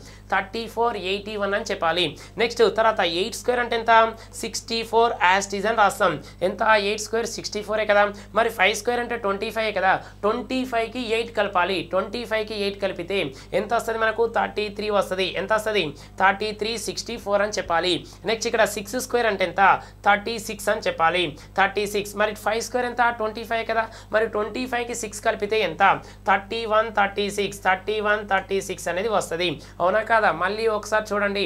నైన్ స్క్వేర్ అంటే నైన్ స్క్వేర్ అంటే ఏం రాసినాం? ఎయిటీ వన్ అని రాసినాం. ఈ థర్టీ ఫోర్ అనేది ఎలా వచ్చింది? ట్వంటీ ఫైవ్కి నైన్ కలపాలి. ఎందుకంటే ఫైవ్ స్క్వేర్ అంటే ట్వంటీ ఫైవ్ కదా? ట్వంటీ ఫైవ్కి నైన్ కలపాలి. ట్వంటీ ఫైవ్కి నైన్ కలిపితే ఏమొస్తుంది? థర్టీ ఫోర్ అనేది వస్తుంది. నెక్స్ట్ ఇక్కడ ట్వంటీ ఫైవ్కి ఎయిట్ కలిపితే థర్టీ త్రీ సిక్స్టీ ఫోర్. తర్వాత సిక్స్ స్క్వేర్ అంటే థర్టీ సిక్స్. ట్వంటీ ఫైవ్కి సిక్స్ కలిపితే ఎంత? థర్టీ వన్ థర్టీ సిక్స్ అనేది వచ్చింది. థర్టీ వన్ థర్టీ సిక్స్ అనేది వచ్చింది. మరి ఇక్కడ గివ్వి మాత్రం మనకి ఇంపార్టెంట్ ఎందుకు ఇంపార్టెంట్ అన్న అంటే మీరు చాలామంది ఏం చేస్తారంటే త్రీ స్క్వేర్ అంటే నైన్ అని చెప్తారు టూ స్క్వేర్ అంటే ఫోర్ అని చెప్తారు వన్ స్క్వేర్ అంటే వన్ అని చెప్తారు. ఓకేనా? కానీ అలా చెప్పకూడదు. మనకు స్క్వేర్ అన్నాం కాబట్టి ఎన్ని డిజిట్ రావాలి? టూ డిజిట్ అనేది రావాలి. టూ డిజిట్ రావాలి. మరి త్రీ స్క్వేర్ అంటే నైన్ కాకుండా ఇంకేం చెప్పాలి సార్ అని డౌట్ వస్తుంది. అంటే జీరో నైన్ అని చెప్పాలి. ఏమని చెప్పాలి? జీరో నైన్ అని చెప్పాలి. మరి టూ స్క్వేర్ అంటే ఏం చెప్పాలి? జీరో ఫోర్ అని చెప్పాలి. ఫోర్ అనేది చెప్పకూడదు. ఒకవేళ వన్ స్క్వేర్ అంటే ఏమని చెప్పాలి? జీరో వన్ అని చెప్పాలి. వన్ అనేది చెప్పకూడదు. కాబట్టి ఒక్కసారి చూడండి. మరి ఇక్కడ వన్ స్క్వేర్ అంటే ఏమనుకున్నాం మనం? జీరో వన్ అని అనుకోవాలి. ఓకేనా? మరి ట్వంటీ ఫైవ్కి వన్ కలిపితే ఎంత అని చెప్పాలి? ట్వంటీ సిక్స్ జీరో వన్ అంటే టూ సిక్స్ జీరో వన్ అని చెప్పాలి. నెక్స్ట్ ఇక్కడ టూ స్క్వేర్ అనుకున్నాం. టూ స్క్వేర్ అంటే ఎంత? జీరో ఫోర్ అని చెప్పాలి. ఎంత? జీరో ఫోర్ అని చెప్పాలి. ట్వంటీ ఫైవ్కి టూ కలిపితే ఎంత అన్నట్టు? టూ సెవెన్ జీరో ఫోర్ చెప్పాలి. త్రీ స్క్వేర్ త్రీ స్క్వేర్ అంటే ఎంత? జీరో నైన్ అని చెప్పాలి. ట్వంటీ ఫైవ్కి త్రీ కలిపితే ఎంత? ట్వంటీ ఎయిట్ జీరో నైన్ ఇదే కదా మనకు కావాల్సింది? అంటే టెన్స్ డిజిట్లో కూడా ఉన్నప్పుడు కూడా మన ఫైవ్ అనేది టెన్స్ డిజిట్లో ఉన్నప్పుడు కూడా ఆన్సర్ అనేది రావాలి. అది వితౌట్ పెన్నుతో రావాలి. ఎందుకంటే మనం ఇది రాసినామంటే దానికి లింక్ బేస్ ఉన్నదే కదా. అంటే రివర్స్ అనేది రాయాలి. రివర్స్ రాసినట్లయితే ఈజీగా మనకు ఏది ఇలా ఇచ్చినప్పుడు కూడా మనం నోటికి రావాలి. నోటికి పెన్ను లేకుండా రావాలి. ఇది మ్యాథ్స్ కదా నాన్ మ్యాథ్స్ అనేది అవసరమా? ఓకేనా? నాన్ మ్యాథ్స్ నాన్ మ్యాథ్స్ అన్నారు కదా. నాన్ మ్యాథ్స్కి ఇలాంటివి అవసరమా? ఓకేనా? మీరు ఏదైతే ట్రిక్ అయితే బాగా నేర్చుకుంటారో అదే మనకు ఎగ్జామ్లో తర్వాత బాగా యూజ్ అవుతాయి. సింపుల్ సింప్లిఫికేషన్లో కావచ్చు లేదా డిజిటల్ సమ్ మెథడ్ కావచ్చు ఇలాంటివి అనేది ఈజీగా యూజ్ అవుతాయి ఓకేనా? ఒకసారి అబ్జర్వ్ చేయండి. ఓకే ఇప్పుడు ఏం చేస్తున్నాం మనం? ఫిఫ్టీ వన్ అడిగినాం అనుకోండి. ఫిఫ్టీ వన్ అడిగితే డైరెక్ట్ చెప్పాలి ఇక. చూడొద్దు ఇక. వన్ స్క్వేర్ అంటే జీరో వన్ అని చెప్పాలి. ట్వంటీ ఫైవ్కి వన్ కలిపితే ట్వంటీ సిక్స్. అంటే టూ సిక్స్ జీరో వన్ అని చెప్పాలి. ఒకవేళ ఫిఫ్టీ త్రీ హోల్ స్క్వేర్ అడిగినాం అనుకోండి. త్రీ స్క్వేర్ అంటే జీరో నైన్ చెప్పాలి. ట్వంటీ ఫైవ్కి త్రీ కలిపితే ట్వంటీ ఎయిట్ జీరో నైన్ అని చెప్పాలి. లేదా ఫిఫ్టీ సిక్స్ అడిగిన అనుకోండి. సిక్స్ స్క్వేర్ థర్టీ సిక్స్ అని చెప్పాలి. ట్వంటీ ఫైవ్కి సిక్స్ కలిపితే థర్టీ వన్ థర్టీ సిక్స్ అని చెప్పాలి. ఫిఫ్టీ ఎయిట్ హోల్ స్క్వేర్ అడిగినాం అనుకోండి ఎయిట్ స్క్వేర్ అంటే సిక్స్టీ ఫోర్ తర్వాత ట్వంటీ ఫైవ్కి ఎయిట్ కలిపాలి. ట్వంటీ ఫైవ్కి ఎయిట్ కలిపితే థర్టీ త్రీ సిక్స్టీ ఫోర్ అని చెప్పాలి. లేదు నేను ఫిఫ్టీ వన్ ఫిఫ్టీ నైన్ అని చెప్తా అంటే నైన్ స్క్వేర్ అంటే ఎయిటీ వన్ చెప్పాలి ట్వంటీ ఫైవ్కి నైన్ కలపాలి. ట్వంటీ ఫైవ్కి నైన్ కలిపితే ఎంత? Thirty four eighty one. ఏమని చెప్పాలి? థర్టీ ఫోర్ ఎయిటీ వన్ అని చెప్పాలి. ఇది కదా మనకు కావాల్సింది. ఇది అయిపోయింది కదా. నెక్స్ట్ ఇంకొకటి చూడండి. ఈ ఫైవ్ గురించే మాట్లాడుతున్నా అది స్క్వేర్లో మాట్లాడుతున్నా. ఫైవ్ స్క్వేర్ గురి ఫైవ్ గురించే మాట్లాడుతున్నా అది స్క్వేర్ అనేది మాట్లాడుతున్నాం. ఎలా వస్తుందంటే చూడండి ఇక్కడ ఫైవ్ గురించి ఇచ్చినప్పుడు నేను ఇలా రాస్తా. Twenty five into thirty five అని రాస్తున్నాం. నెక్స్ట్ తర్వాత fifteen into thirty five fifteen into twenty five అని రాస్తున్నాం. నెక్స్ట్ తర్వాత thirty five into forty five అని రాస్తున్నా. Thirty five into forty five next ఇక్కడ seventy five into eighty five అని రాస్తున్నాం. నెక్స్ట్ తర్వాత one nought five into one nought five into one one five అని రాస్తున్నాం. Next one twenty five into one thirty five అని రాస్తున్నా. One twenty five into one thirty five అని రాస్తున్నా. ఒకసారి అబ్జర్వ్ చేసినట్లయితే ఓకేనా? ఒకసారి అబ్జర్వ్ చేసినట్లయితే ఇప్పుడు ఏముంది అంటే చూడండి ఫైవ్ గురించే కదా మనం మాట్లాడేది. ఇక్కడ కూడా ఫైవ్ ఉంది ఇక్కడ కూడా ఫైవ్ ఉంది. అది స్క్వేర్లు అన్నాం కాబట్టి ఫిఫ్టీన్ అంటే ఫిఫ్టీన్ అనేది టూ టైమ్స్ వచ్చింది టూ టైమ్స్ వచ్చింది. కానీ ఇక్కడ ఏముందంటే twenty five thirty five fifteen twenty five తర్వాత forty five thirty five one twenty five one thirty five one one five తర్వాత వన్ నాట్ ఫైవ్ ఇలా ఉంది. ఏం అబ్జర్వ్ చేశారంటే కూడా చెప్తా చూడండి. ఇక్కడ యూనిట్ డిజిట్లో యూనిట్ డిజిట్లో ఫైవ్ ఉంది. ఓకేనా? యూనిట్ డిజిట్ ఓకేనా? యూనిట్ డిజిట్లో ఏం కనబడుతుంది మనకు? ఫైవ్ అనేది ఉంది. ఫైవ్ ఉంది. ఓకే వీళ్ళ మధ్య డిఫరెన్స్ ఎంత ఉంది డిఫరెన్స్ అనేది ఎంత ఉందంటే టెన్ ఉంది. డిఫరెన్స్ అనేది ఎంత ఉంది టెన్ ఉంది. ఇలా ఉన్నప్పుడు కూడా మనకి ఈజీగా రావాలి. ఇలా ఉన్నప్పుడు కూడా మనకు ఈజీగా అనేది రావాలి. ఎలా వస్తుంది అంటే ఒకసారి చూడండి. ఏ విధంగా రాస్తానంటే లాస్ట్ టూ డిజిట్స్ అనేది సెవెంటీ ఫైవ్ రావాలి. లాస్ట్ డిజిట్ ఏం రావాలి? సెవెంటీ ఫైవ్ రావాలి. ఈ సెవెంటీ ఫైవ్ ఎందుకు వస్తుంది? ట్వంటీ ఫైవ్ కూడా రావచ్చు కదా అని డౌట్ రావాలి. సెవెంటీ ఫైవ్ కాదు ట్వంటీ ఫైవ్ కూడా వస్తుంది. ఎప్పుడు వస్తుంది అంటే మనం ఏమనుకున్నామంటే నంబర్ సిస్టమ్ థర్డ్ యూనిట్ అనుకున్నాం కదా నంబర్ సిస్టమ్ థర్డ్ యూనిట్లో అక్కడ సెవెంటీ ఫైవ్ ఎందుకు రాస్తున్నా లేదా ట్వంటీ ఫైవ్ ఎందుకు రాసినా అనేది మీకు అక్కడ క్లారిటీ ఇస్తా. ఫస్ట్ ఇక్కడ మీరు గుర్తుపెట్టుకోవాల్సింది ఏంటంటే ఇక్కడ సెవెంటీ ఫైవ్ అనేది మాత్రం గుర్తుపెట్టుకోండి. ఎప్పుడు అది? మనకు యూనిట్ డిజిట్ ఏమో ఫైవ్ ఉండాలి డిఫరెన్స్ టెన్ ఉన్నప్పుడు ఏం చేస్తామంటే ఎలా రాస్తామంటే చూడండి లాస్ట్ టైం రావాలి సెవెంటీ ఫైవ్ సరే ఇవన్నీ బాగానే ఉంది. దాని తర్వాత నెంబర్ ఏం రాయాలి? డౌట్ రావాలి. ఏ నెంబర్ రాయాలి? డౌట్ వస్తుంది. ఒకసారి చూడండి. ఇక్కడ ఏమనుకున్నాం? ఇక్కడ టూ కామా త్రీలో టూ కామా త్రీలో హైయెస్ట్ నెంబర్ ఎంత? త్రీయే కదా? Three square nine minus one minus one అంటే ఎంత? నైన్ మైనస్ వన్ అంటే ఎంత? ఎయిట్ అని చెప్పచ్చు. ఏమని చెప్పాలి? Eight seventy five eight seventy five కదా? నెక్స్ట్ తర్వాత ఇక్కడ వన్ ఉంది ఇక్కడ టూ ఉంది. హైయెస్ట్ నెంబర్ ఎంత? టూ టూ స్క్వేర్ చేస్తే ఎంత? Four minus one four minus one అంటే ఎంత? త్రీ సెవెంటీ ఫైవ్ అని చెప్పాలి. తర్వాత ఇక్కడ త్రీ ఉంది ఇక్కడ ఫోర్ ఉంది కదా. హైయెస్ట్ నెంబర్ ఎంత? ఫోర్ కదా. మరి ఫోర్ స్క్వేర్ ఎంత? సిక్స్టీన్ మైనస్ వన్ అంటే వన్ ఎంత? సిక్స్టీన్ మైనస్ వన్ అంటే ఫిఫ్టీన్ సెవెంటీ ఫైవ్ ఇక్కడ సెవెన్ ఎయిట్ ఉంది. సెవెన్ ఎయిట్ ఉందిలో హైయెస్ట్ నెంబర్ ఎంత? ఎయిట్ ఎయిట్ స్క్వేర్ ఎంత? సిక్స్టీ ఫోర్ మైనస్ వన్ చేస్తే ఎంత? Sixty three sixty three seventy five ఇక్కడ టెన్ ఉంది తర్వాత లెవెన్ ఉంది. టెన్ లెవెన్లో హైయెస్ట్ నెంబర్ ఎంత? లెవెన్ టెన్ లెవెన్లో హైయెస్ట్ నెంబర్ ఎంత? లెవెన్ లెవెన్ స్క్వేర్ ఎంత? One twenty one minus one one twenty one minus one అంటే ఎంత? One twenty seventy five one twenty seventy five ఇక్కడ ట్వెల్వ్ తర్వాత థర్టీన్ అన్నాం. ట్వెల్వ్ థర్టీన్లో హైయెస్ట్ నెంబర్ ఎంత? థర్టీన్ థర్టీనే కదా? థర్టీన్ స్క్వేర్ అంటే one sixty nine minus one రాసినట్లయితే one sixty eight అని రాస్తాం. ఎంత? వన్ సిక్స్టీ ఎయిట్ అని రాయాలి. వన్ సిక్స్టీ ఎయిట్ అని రాయాలి. అవునా కాదా? ఇవన్నీ నోటికే కాదా? ఇక్కడ ఒకటే మీరు గుర్తుపెట్టుకోవాల్సింది ఏంటంటే యూనిట్ డిజిట్లో ఫైవ్ ఉంది. యూనిట్ డిజిట్లో ఫైవ్ ఉంది. డిఫరెన్స్ ఎంత ఉంది? టెన్ ఉంది. టెన్ ఉన్నా కూడా ఆన్సర్ రావాలి. ఏం రావాలి? యూనిట్ డిజిట్లో సెవెంటీ ఫైవ్ రావాలి. నెక్స్ట్ తర్వాత ఏం వస్తుందంటే హైయెస్ట్ నెంబర్ తీసుకోవాలి హైయెస్ట్ నెంబర్ను స్క్వేర్ చేసి మైనస్ వన్ రాయాలి. ఇక్కడ టూ త్రీలో హైయెస్ట్ నెంబర్ అంటే త్రీయే కదా. స్క్వేర్ చేసినట్లయితే ఎంత? Nine minus one nine minus one ఎంత? ఎయిట్ అని రాస్తాం. వన్ టూలో highest number two square four minus one అంటే త్రీ అని రాయాలి. నెక్స్ట్ త్రీ ఫోర్లో హైయెస్ట్ నెంబర్ ఎంత? ఫోర్ కాబట్టి ఫోర్ స్క్వేర్ అంటే సిక్స్టీన్ మైనస్ వన్ అని రాస్తే ఫిఫ్టీన్ అని రాస్తాం తర్వాత టెన్ లెవెన్లో హైయెస్ట్ నెంబర్ ఎంత? లెవెన్ కాబట్టి one twenty one minus one one twenty one minus one అంటే ఎంత? One twenty seventy five one twenty seventy five రాసినాం ఈ ట్వెల్వ్ థర్టీన్లో హైయెస్ట్ నెంబర్ అంటే థర్టీన్ అంటే one sixty nine minus one అని రాయాలి. ఇదే కదా మనకు కావాల్సింది. అంటే నేను ఒక ఫైవ్ తీసుకున్నా. ఒక ఫైవ్ తీసుకున్నట్లయితే మనం ఏ విధంగా రాసినాం చూడండి. ఓన్లీ వన్ ఫైవ్నే తీసుకుంటున్నా నేను. అంటే మీకు ఇదంతా ఎందుకు చెప్తున్నానంటే మీకు కావాల్సింది ఏంటంటే సబ్జెక్ట్లో ఎలా లింకప్ చేసి చదవాలి. మ్యాథ్స్ అయినా నాన్ మ్యాథ్స్ అయినా నాకు క్యాలిక్యులేషన్ రాదు క్యాలిక్యులేషన్ రాదు అంటారు కదా.